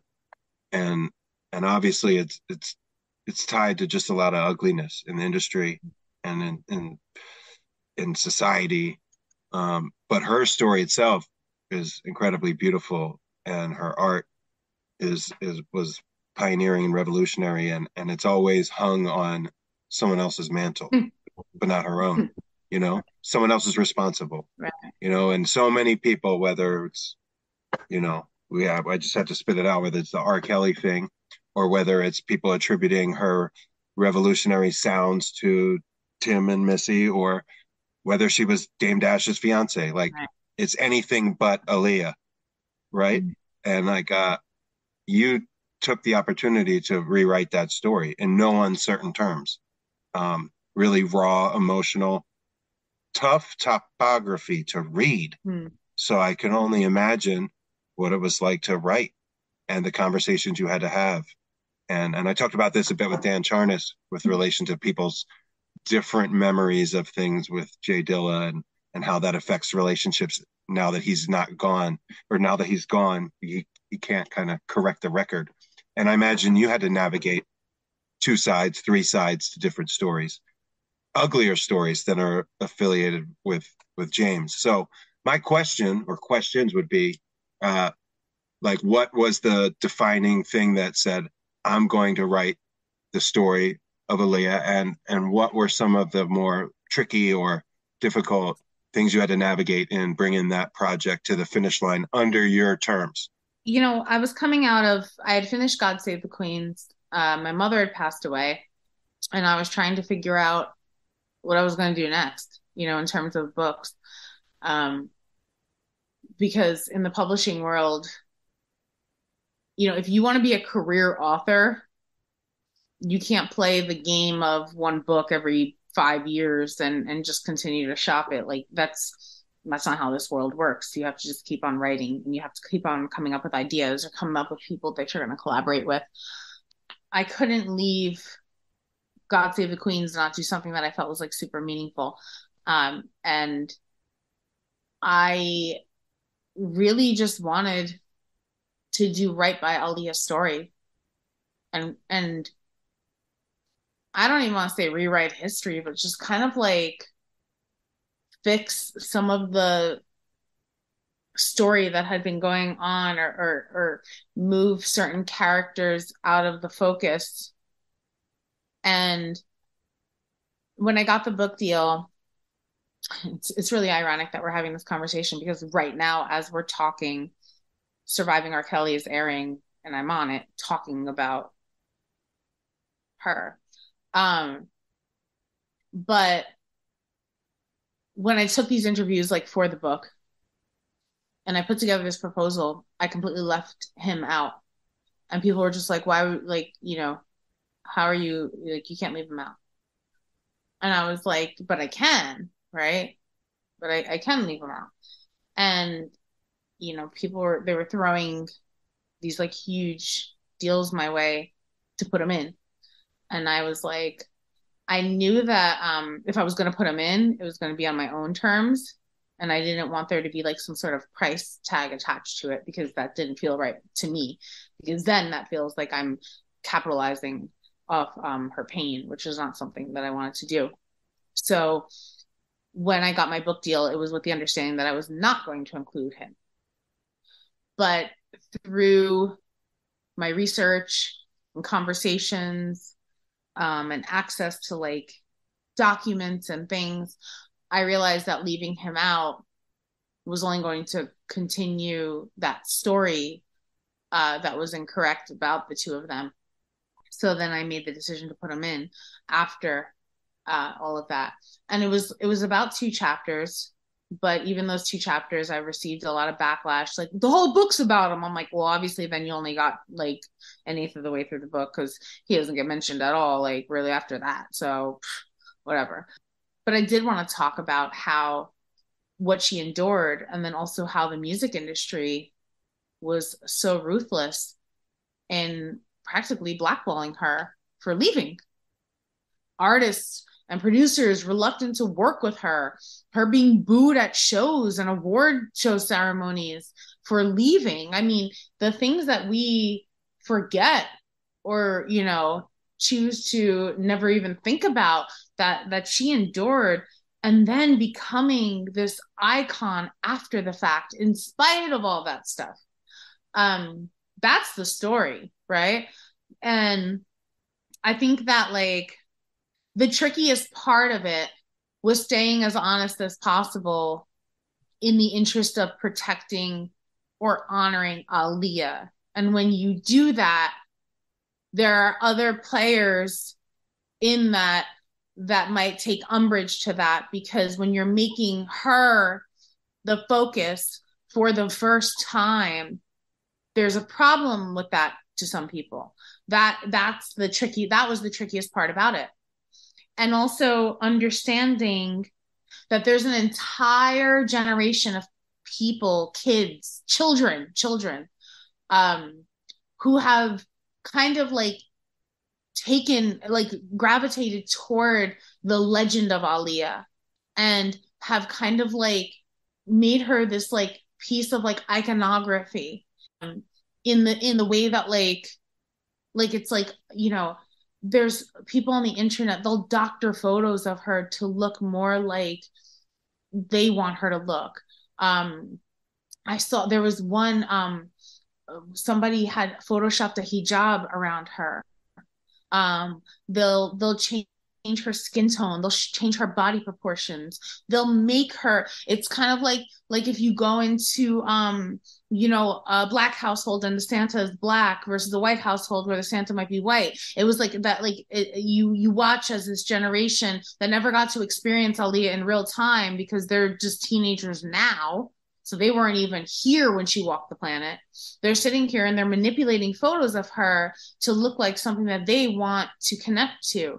Um, and for me, I'm like, hey, like I love that for you, but um, I still have a story to tell. And you don't have to read the book. As a matter of fact, if, if you're super young, I urge you not to.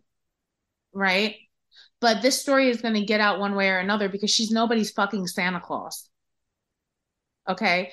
You know, she's someone who actually existed and someone who actually something truly traumatic and someone who became a massive icon and i'm sorry that doesn't fit your you know photoshop image of her but um i got a job to do uh, respectfully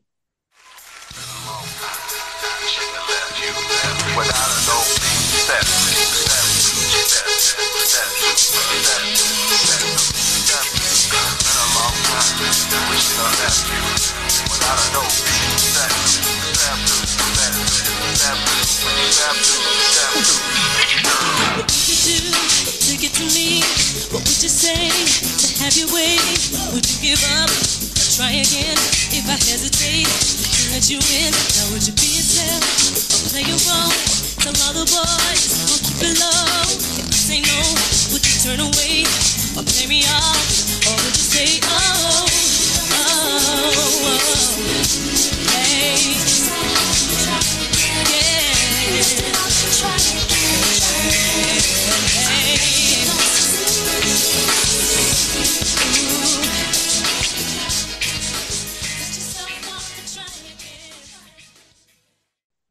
at the time that it was all happening, writing this book in the middle of the pandemic where people are dying, still getting over losing my mother. Um, and then a year later, getting doxxed um, because of what I put in the book, but also um, not because of what I put in the book, because people read a headline that was incorrect. Um, and, uh, and you know, just like a bunch of like other accusations that weren't true. Um, now that I've like out of like leaving the fog of all of that, I I get messaged from the same people that were kind of like uh, condemning me and telling me, "Oh, I finally read the book, and that's a pretty damn good book, and you really, really, wow, you really loved this artist, like you really loved her, um, like we do." And I'm like, "Yeah, like, you know, you can learn a lot when you when you go past uh the front cover of the book or page one, page two, page R. Kelly, whatever. Um, there was a message to that book. And now, you know, a year and a half removed from it, I can say that I, I feel better about um, the situation than I did when the book first came out because um, a lot of people didn't read the book, they reacted to the book. Um, and I know that like at the heart of it, I still told the story about one of my favorite artists and I painted her in the greatest light possible. And as we watched the dominoes fall for the other guy, I still know that like I cre- I I created a story where um I still held her in the highest light. And I and, and I and I maintain that and I stand by that. But um that was not an easy book for me. that was, you know, um, it was a hard book to write. It was a hard book to promote. Um, and it's a hard book to think about. But um, I think when you're when you're trying to tell stories, it's not always supposed to be easy. Because if that were the case, everybody would be writing books and telling stories, and that's just not the case. Thank you for taking it there, first of all. And and you eh, drew one line directly to the next, which is we we shed the clickbaity fucking gotcha journalism for stories that matter, stories that tell human and and art humans and art, all that. And then it was that clickbait bullshit that came for you. You know, I remember that a little bit, you know. And I, and to be honest, like I first reached out to you in the aftermath of the book release, but I'm actually grateful that I'm talking to you now and not necessarily when you're in the thick of that heavy promotional like pressure to you know sell your book on the internet and and and talk to this person and talk to that person and then get caught up in he, she said this she did that. Like i you know i'm glad that i didn't add to that or ask for your time during that. And also to hear a more reflective version of your experience now 18 months down the line into a new project I also think it was unfortunate and fortunate timing with uh, the the streaming announcement and her music coming out that both was fortuitous because now Aaliyah is in the news again, but it almost paints you as an opportunist Right. by putting the book out at that time, which we know was not the case because that announcement didn't come till you were right before the finish line. You were, you know, nine tenths of the way there before that even, and and and also you had a real look under the engine as to what that fucking bullshit about keeping them keeping those albums off of streaming and who was responsible and what their vested interest was. And you know i'll let people read the book to find out how that you know spaghetti was made. But the bottom line is uh, people were deprived from her most important music the music that was not connected to him Right. for two decades and and with that all those kids that are drag and dropping my you know fisher price my first Aaliyah, whatever they're doing online with their photoshop mm-hmm. they don't have the records or her story or or really know anything. And then it's an avalanche. It's you get the albums surviving is on tv and the book is coming out mm-hmm.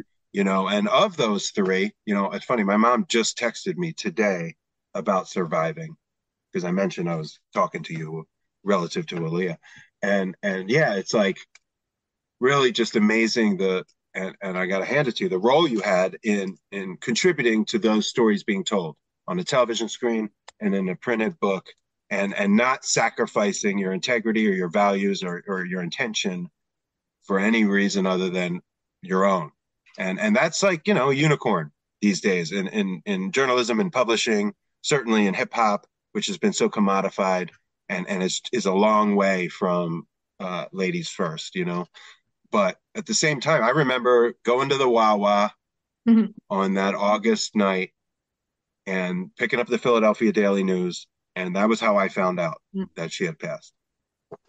I remember the feeling picking up the paper, and and I held I had it the actual Daily News, Philly Daily News, for years and years th- with her, and I still have the vibe, the with the white cover. Oh yeah. Um, you know, like so I, I had even back then an affection for her, although I was not well versed in her story or what she was about. I just loved her voice over that production and her dancing and, and just the version of Aaliyah that was presented to me through a television or through the speakers in 99, 2000, 2001. Now, 20 years later, is is a different thing. And, I- and I wanted to just touch on it's important that you brought up like in the book you talked about photo shoots Uh-huh. and and who the stylist was and the photographer and what she was wearing. And at the time I was just like, wow, that's really interesting details, you know, specific. But now I realize like you're letting people know what ain't real. Like these she did a finite amount of photo shoots. And and you're gonna see some bullshit her wearing a hijab or some costume and this is your way of letting the world know no, that's not real. These are the photo shoots in circulation, and and they're few. Really, there's not that many. Right. Right. And and you let us know, and then I actually took the time to go back and look, you know, to see what you were describing. You know, I was doing the audiobook too, so I could do it while I was listening. Right. But I just like, you know, as as somebody who writes and reads and has an interest, like that detail stuck with me, and it didn't click why until right now, and that's pretty pretty awesome.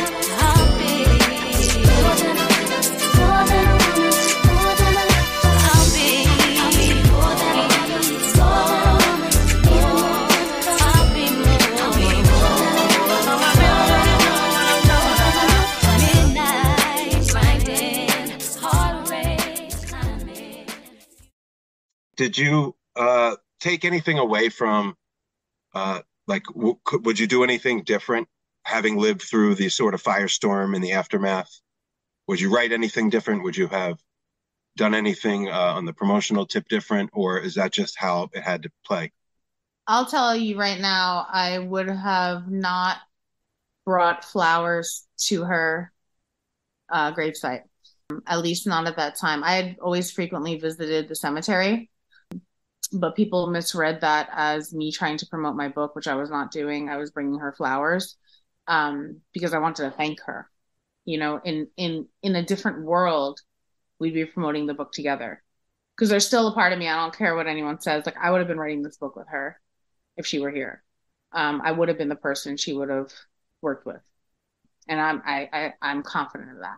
So I brought flowers to um, her gravesite, to the mausoleum to to thank her, and um, you know they that was misread as promoting. I mean, said I was like, it was so funny. It was not funny, but I mean, the rumors like, and and that's another reason why like when I say that like I want no part of clickbait or any of those things is because like I've like firsthand experienced what it's like to have people completely lie about you. Somebody said that I had a folding table with like books outside. Like, wait, what? Like standing outside of a cemetery selling books. And I'm like, this is just like horrific. And um no, that's not what happened. I literally brought her flowers and I brought my mother flowers on that day, the day the book came out. Those are the two things I did. You know, people people thought it was like some sort of like cute book promo op and it really wasn't i mean and maybe it's because um there are so many people who were either in Aaliyah's orbit who weren't or weren't who didn't have the purest intentions and adoration for her as an artist and a genius and i can understand why maybe they would question the authenticity and the heart of the person who was writing this book because maybe they never had that um, level of protection for her um, so I can understand why maybe they would um, question my my desire to even do the project. But I can rest assure you, even out of the storm, it was because I was a fan of Aaliyah's and um, and I was in the circles and I was I was listening in on these conversations of how she was positioned and spoken about even after she passed. And I wanted to in some way highlight the parts of her genius that we never spoke about right so you know i did this book with purest intentions and um you know i maintain that but i think um if i were to say that i regret anything it would it would definitely be that um maybe it would have been a different day to bring the flowers. I don't know. I really like when the book came out like i was like i had all this tv stuff and all this promo and it didn't feel good to me because she wasn't there. And no one understood Right. like no one like and maybe that does not sound believable but i i promise you the day that the book came out it didn't feel right because she wasn't there. And that was really what the motive was for me to bring the flowers and and be like hey like i really wish you were here. And i and i think that like i hadn't really thought about the impact of the loss so many years later until that moment right? Like i was like you know i was one of the fans that um when i learned of her passing i was like crying my eyes out and um driving home my mother being okay and like me having to explain what happened but like when you look at all the artists who are out now who have taken so many pages from her playbook and we're in this moment where the music is out and it's like almost like she's back but she's not so So weird.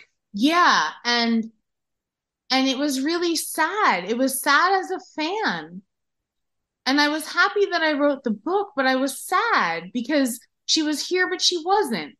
And there was like a whole trial going on and that was gross that was happening. I mean there's some redemption to that story but there was so much going on.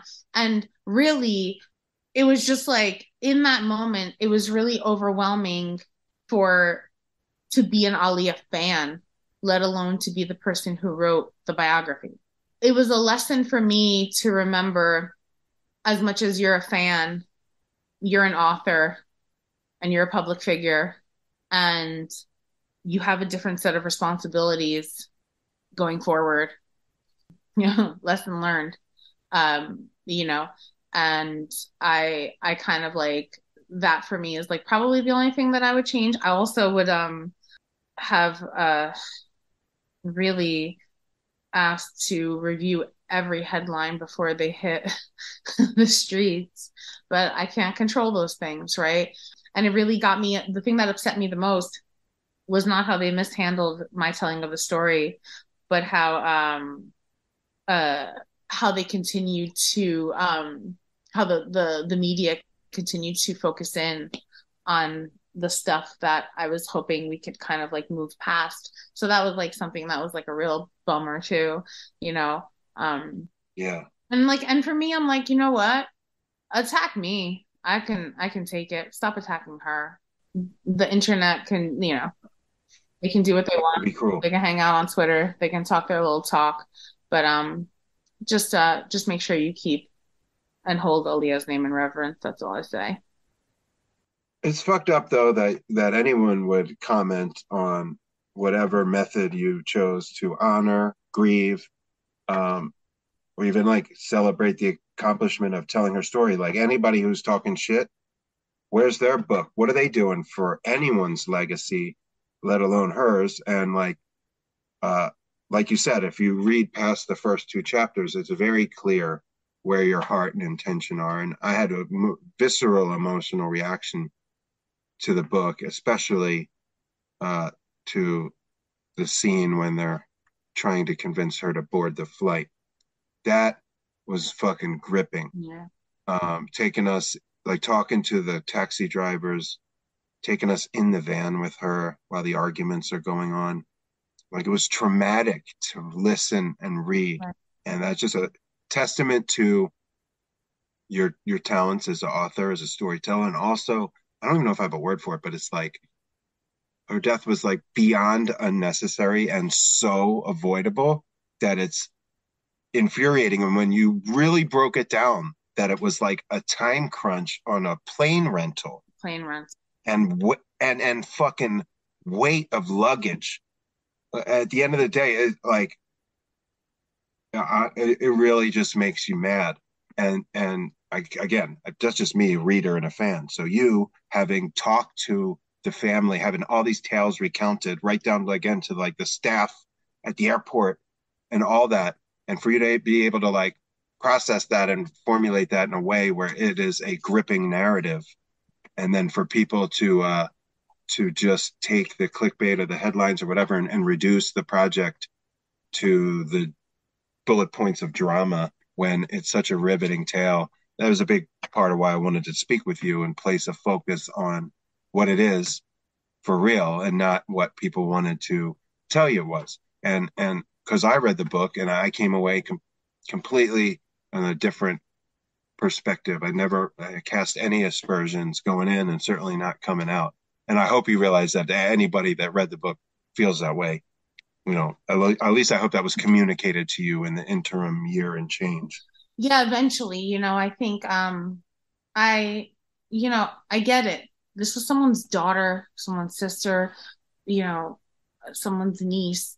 Um and and you're telling a story about someone who then becomes part of the world, right?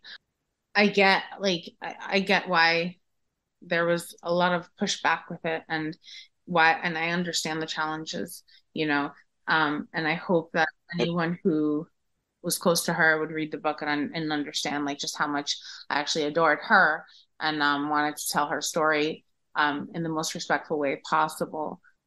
You centered her and not these other characters. And that and that's the thing. You're like, yeah, she it, it placed Aaliyah front and center. And even when you're telling the other parts of the story, it's telling the story of how Aaliyah left um and rose like the phoenix, right? And and was able to kind of like become this this icon on her own terms and completely change R&B music forever. You know, we talk you talk about like the alt R&B girls that are out right now. They're just really they're from the Aaliyah family tree. Oh yeah, SZA, her, all of them. Yeah. All and and and they'll they won't um they won't deny that either, right? Like it's not as if uh you know people are hiding uh that fact. But I think that um it's a beautiful thing that you can listen to like a SZA project and then you can like switch over now and listen to an Aaliyah project like all on the same streaming platform and not have to dig for a CD or vinyl. I think that that's wonderful because for so long the only album that was available were providing royalties that were going into someone's pocket and he, you know, shouldn't have that money, right? You know, with he being, you know, he who should, Mhm. shall not be mentioned. It's still it's not an easy story to tell, and I totally get it. And it's not an easy story to hear, and I totally get that too. I, I made it a point after all the all the shit had gone down to like stop looking, right? And then one day I kind of like put in the the book and my name and all this other stuff, and I screenshotted all these tweets of all these people having this conversation about how good the book was, and then being like kind of like like whoops.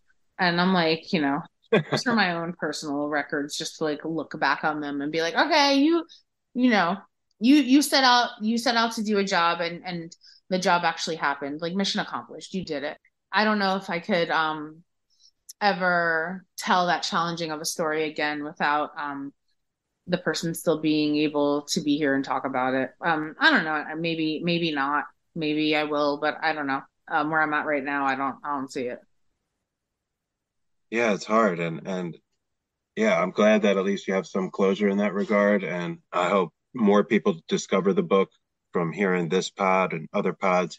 And I mean, you know, you've got the credentials and the relationships and like the receipts as the kids say. You've been outside a long time.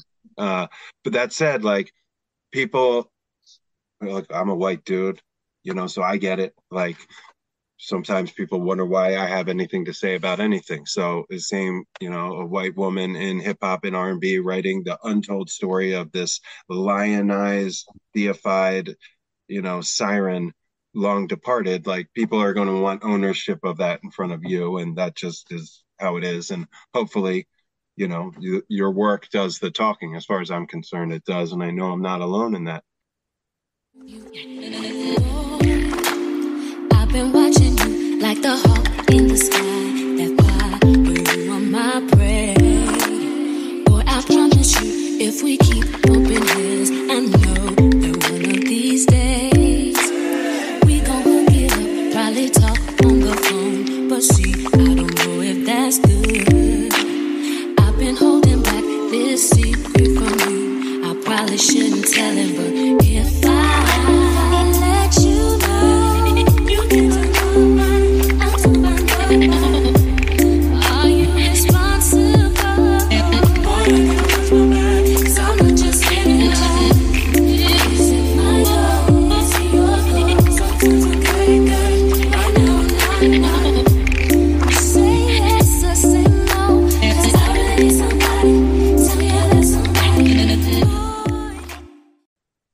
with regard to like people who are still here, I got I got two more. One about class and one about your forthcoming project. Uh, you teach a class on Lana Del Rey at NYU, which I found to be really interesting. A because it's not hip hop, and yeah, of course she's still with us, but also a lightning rod, misunderstood, cast aspersions on, and and at the same time a pioneering, really just unicorn artist if there ever was Right. especially in this manufactured homogenized pop star age so again uh why choose her and what is your course you know give me the synopsis I I have um you know the bulk of my career has been hip hop journalism, but I I um I also do cover other genres and and other um discussions like on women, especially in music. So when when I was putting together this um this course, I was thinking about how like Lana Del Rey I don't want to call it the invention, but I'll say the like popularizing the sad girl theory, uh, sad girl theory in pop music, which is a source of empowerment through sadness. It's a stark contrast of like the sad girls of the '90s. Um, no, I'm sorry, a stark contrast to the sad girls prior to the '90s, right? Where um, when we eased into the era of your Fiona Apples and your Tori Amos's that's where you you know found the genesis of this sad girl music but where you listen to like a song like jolene for example um and there's just a lot of pining for men right and when you got into the 90s it was focusing in on the disposability of men and and and the sadness that they can't like find these feelings for these men, right? Or like they they're sad about destroying men, you know, like cue uh, If you're Ani DiFranco, yeah. yeah, but also like Fiona Apple, I've been a bad girl, I've been careless with a delicate man, like that whole kind of like self-loathing because you can't find it um to want to commit or to to find the capacity to be with um in in a functioning relationship. That is a different kind of sadness. It's almost like an empowering one where you're minimizing the men in the story and um you're kind of like amplifying your own emotion. So when you get to a, a point of like Lana Del Rey's version of sad girl pop music, it's this combination of the Jolene era of sad girls mixed with the Fiona Apple of sad girls and kind of like slapped together um and set to like this um you know black and white uh tinted uh storytelling with hints of like old timiness and, and Americana and kind of like telling why why were so many young artists and beyond the fans why did these artists then take from her and apply it to their own music? And and the course really just kind of centers in first we talk about kind of like who what the Lana Del Rey mosaic is right? Um you know you're talking about a metaphysics major at Fordham who like read a lot of Nietzsche. There's so many callbacks to philosophy in her music but I think we like listen with our eyes right so for the course we kind of we we dig deeper into the references. All the films that lana del rey like list, uh, watched and and even her own musical um influences like an amy winehouse for example or, or kurt cobain um calling herself the gangster nancy sinatra. Then we go into how she managed to galvanize this fan base. But then we also go into societal discussions like what was going on. I, like the reason why Lana Del Rey became so famous so fast is because the marketing campaign of women in music at the time was like fight like a girl and all of this like be strong be this be that while women percentage wise psychologically were at their weakest mentally and emotionally. So it was like don't tell me to fight like a girl. Like i need a space to be upset. I'm hurting. I'm struggling out here and Lana provided that safe space. That is where the heart of all these other artists that kind of continued in that fashion, your Billie Eilishes, for example, were able to kind of like take from that. Well, she's not a hip hop artist. I mean, she has collaborated with a lot of uh, hip hop artists, but it's still kind of an extension of what it is that I do, which is like when I'm speaking about women in music, we have one version of the story.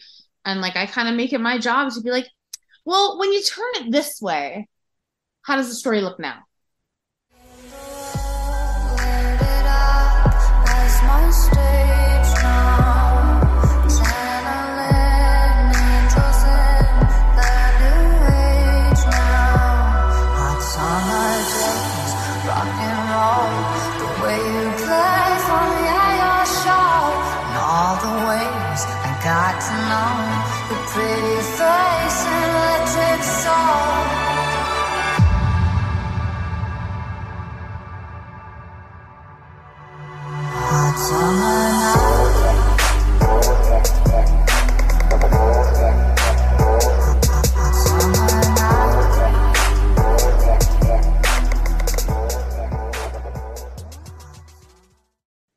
And that's really what I wanted, what I did with the Lana course is, you know, we have these kinds of built-in assumptions.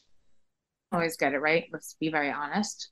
A lot of the time, she doesn't get it right um, because of how um, everything outside of the music is a different kind of an expression of like what the core messaging is. But sometimes that gets completely convoluted. But like in the course, I just kind of keep turning the image and rotating it and discussing it at all different angles and that's really what made up the entire course is just taking that panoramic view and kind of just rotating it with each lecture. And us just kind of like pointing stuff out and discussing it. It was a really great course. I'm like um, i hope we get to do it in the fall. The the students did not know what to expect when you're doing a course on an artist. I think sometimes people think that you're just going to sit and listen to music all day, which we did listen to some songs, but I don't think they ever bargained like reading like Nietzsche um right as part of the course. But here we are. And um yeah, I really enjoyed teaching it. I really enjoyed teaching it. I mean, that's important too, to enjoy it and to, to have a passion for the content. It, it comes across in the way a professor would impart it for sure. Um, with regard to uh, Lana's, like it's a real time uh, through the looking glass, like the antithesis of the Aaliyah situation. This is a star or an artist, I should say, uh, that your students would know in real time. They've come up as she's come up. You know, if they're in college, chances are they were, you know, high school and middle school on her glow up. So it's just a different thing entirely. And for you to be able to, you know, shoehorn or I should say like alter what you do in the book form to teach a class, you know, is again a testament to I know like you consider yourself a lot of things, not just an author, not just a journalist, not just a teacher. And that all comes into play in a project like this. Uh-huh, uh-huh, Lil' Kim not a whore, but I sex a nigga so good he gotta tell his boys when it come to sex, don't test my skills. Cause my head game had you head over heels, give a nigga the chills, haven't paid my bills. Find matching Lambos with the same color wheels. When I ain't out shopping, spending dudes, see nope. I'm in the crib giving niggas deep throat. Tonight, Lil' Kim gon' have you in the zone. Girls for your crib, I'm answering the phone. Guys wanna wife me and give me the ring. I do it anywhere, anyhow. I'm down for anything. Couple of humps, give a nigga goosebumps. This junk in my trunk ain't made for chumps. When Little Kim's around, you don't need to lie. It's the drugs, baby. I'm making you high. I know you're not at liberty to talk too much about your current project, but uh, I know you have announced it, and it's a book about Lil Kim, Yeah. which is uh, uh, in line with uh, you know telling centering women in hip hop and pop culture and uh, empowerment and breaking the mold. Pioneer checks all the boxes. So without divulging anything about what you can't, what drew you to Kim uh, specifically, um, and any reflections you have on her as an artist from a fan perspective? Huh. Um, Kim is one of my favorite artists of all time, and um, there was there was synergy there because um, she was close to Prodigy, so there was um, it, it felt right. Uh, besides wanting to tell her story with her being, and she was you know incredibly close to Aaliyah, so this is just you know um, it, it felt right. And you know, Kim is someone who I think another person who has consistently had the story written for her. And her being able to finally tell her story, I think, is incredibly important. And um, being able to help her with that was was kind of, you know, it was it was a huge career defining moment for me, especially having started with like God Save the Queens and um, getting to work with her you know. Um, but I, you know, I've been a Kim fan forever. You know, um, Lil Kim is the reason why I became a hip hop journalist. I approached her at a TGI Fridays um, right after Biggie died to offer my condolences, and she invited me to sit down and have dinner with her. And Yeah. yeah, and um, I carried it with me. I went home that night and I told my mother, I was like, if little Kim could invite me to sit down with her while she's still grieving the love of her life, then I can interview artists for a living. Like literally, that was the day that I had like made this like firm decision. Um, and uh, two years, well, a year, a year later, I started um, uh, working with the Roots. And Yeah, so that gave you some confidence, just that hang alone that you were welcome. Yeah, and she had said to me, she's like, no matter where I am, you always have a seat at my table. And I I never forget, like I'll never forget that, that like her telling me that. And then um getting to interview her a few years later and her remembering that moment and then getting to talk to her about these things while we were doing the book.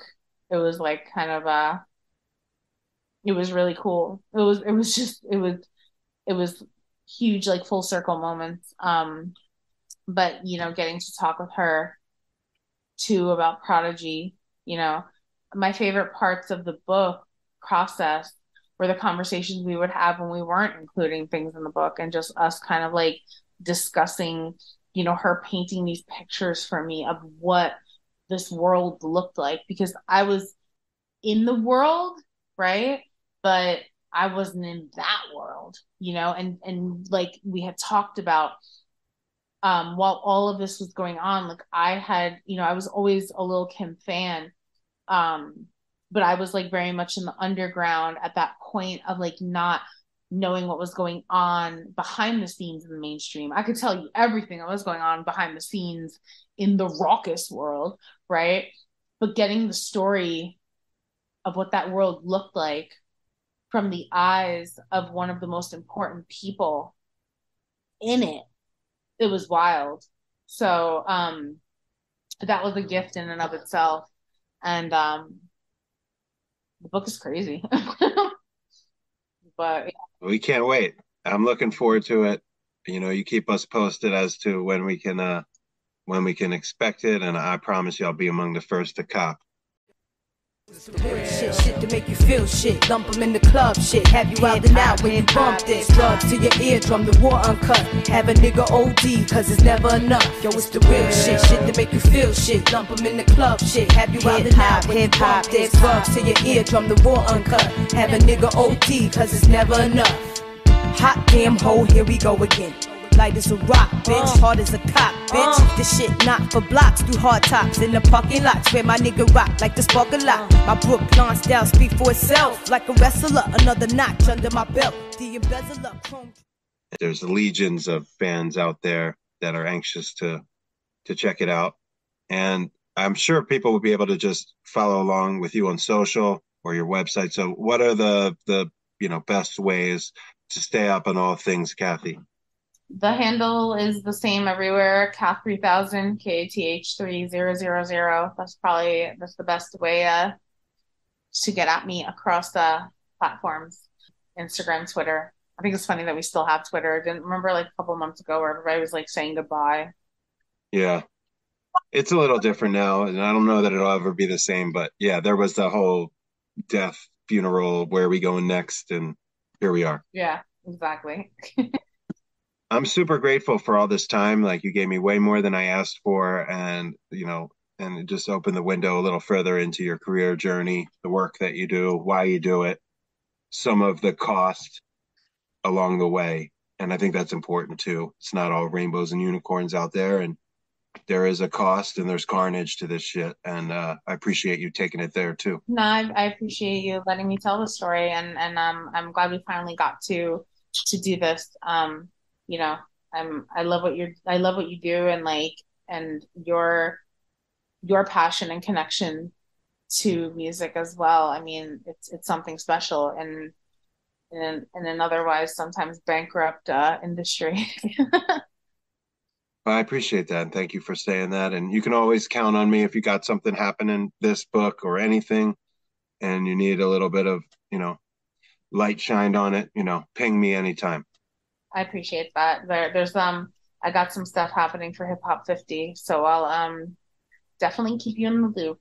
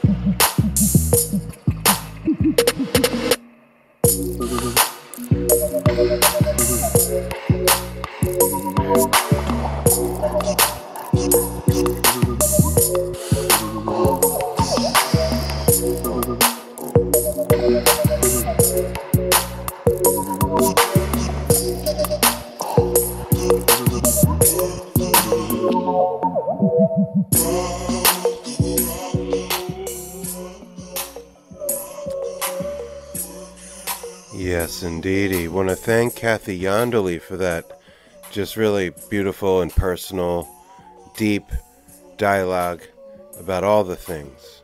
She touched on so many topics dear to me, artists, and of course her illustrious and esteemed career as a writer, reporter, author, journalist, media coach, teacher.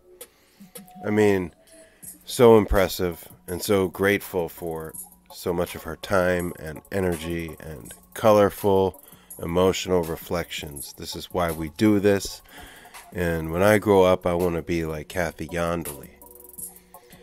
As soon as I drop this Rock the Boat remix from Ataya, it's like a time machine.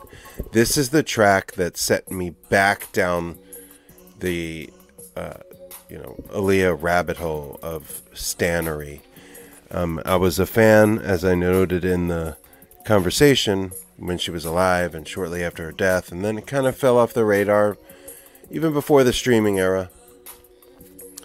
But then at Burning Man, my second year in 2014, I boarded the Dragon Abraxas, art car dear to me, peeps I roll with from time and time and again, and this was part of my falling in love with the Dragon. Really, uh, I was just dancing, and the DJ Ataya dropped this then brand new Rock the Boat remix. This is 2014 was I think so maybe the the remix was out for a few months or whatever, but I heard it, I heard the snippets and sample of Rock the Boat and it just ever since then we're coming up on a decade this summer since I heard that and it made me a fan of Ataya and then that whole British Columbia scene Goop Steppa, Leland River, now Oak.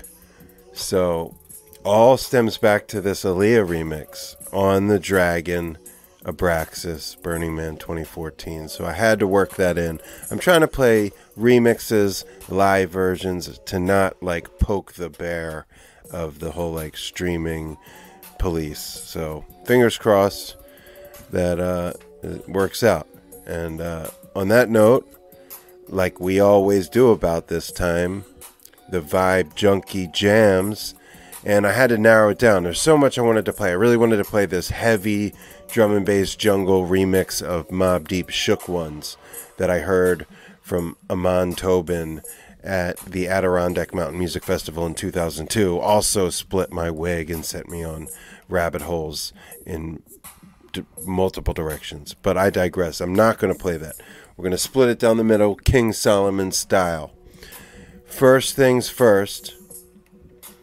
When worst comes to worst, my peoples come first. First things first, we're going to go with my favorite L Boogie song of all time, Lauryn Hill's song. I'm play a live version from Japan 1999, The Sweetest Thing. Just such a killer song. And then chase that with the last ever live performance of Aaliyah doing More Than a Woman on the Jay Leno Show, uh, July 25, 2021, just a couple short weeks before her tragic passing. Um, and with that, it's been a doozy putting this one together. I'm grateful if you made it to the end. Please enjoy the Vibe Junkie Jams. I'm going to say goodbye, job bless, and we'll see you next time. I'm your host, B. Getz. Yes, indeedy. Uh, uh, unexpected. Multi-dimensional. Am I lazy? Unexpected sound.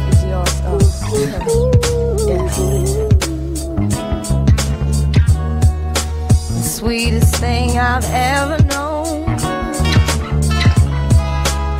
was like the kiss on the collarbone.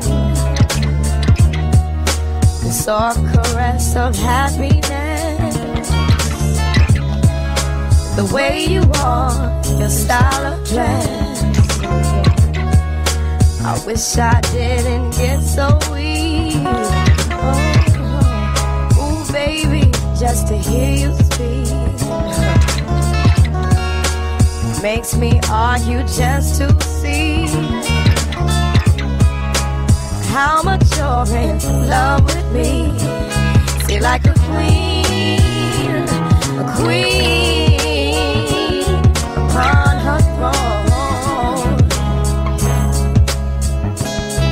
Was the sweet, sweet, sweetest thing I've known. It was the sweet, sweet, sweetest thing I've known.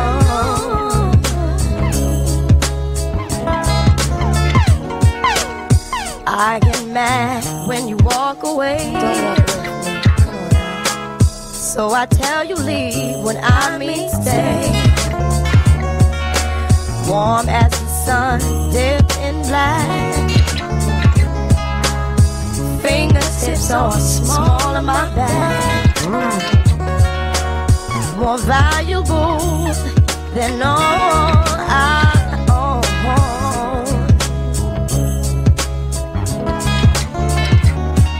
Like your precious, precious, precious, precious, precious, baby, dark skin tone. It was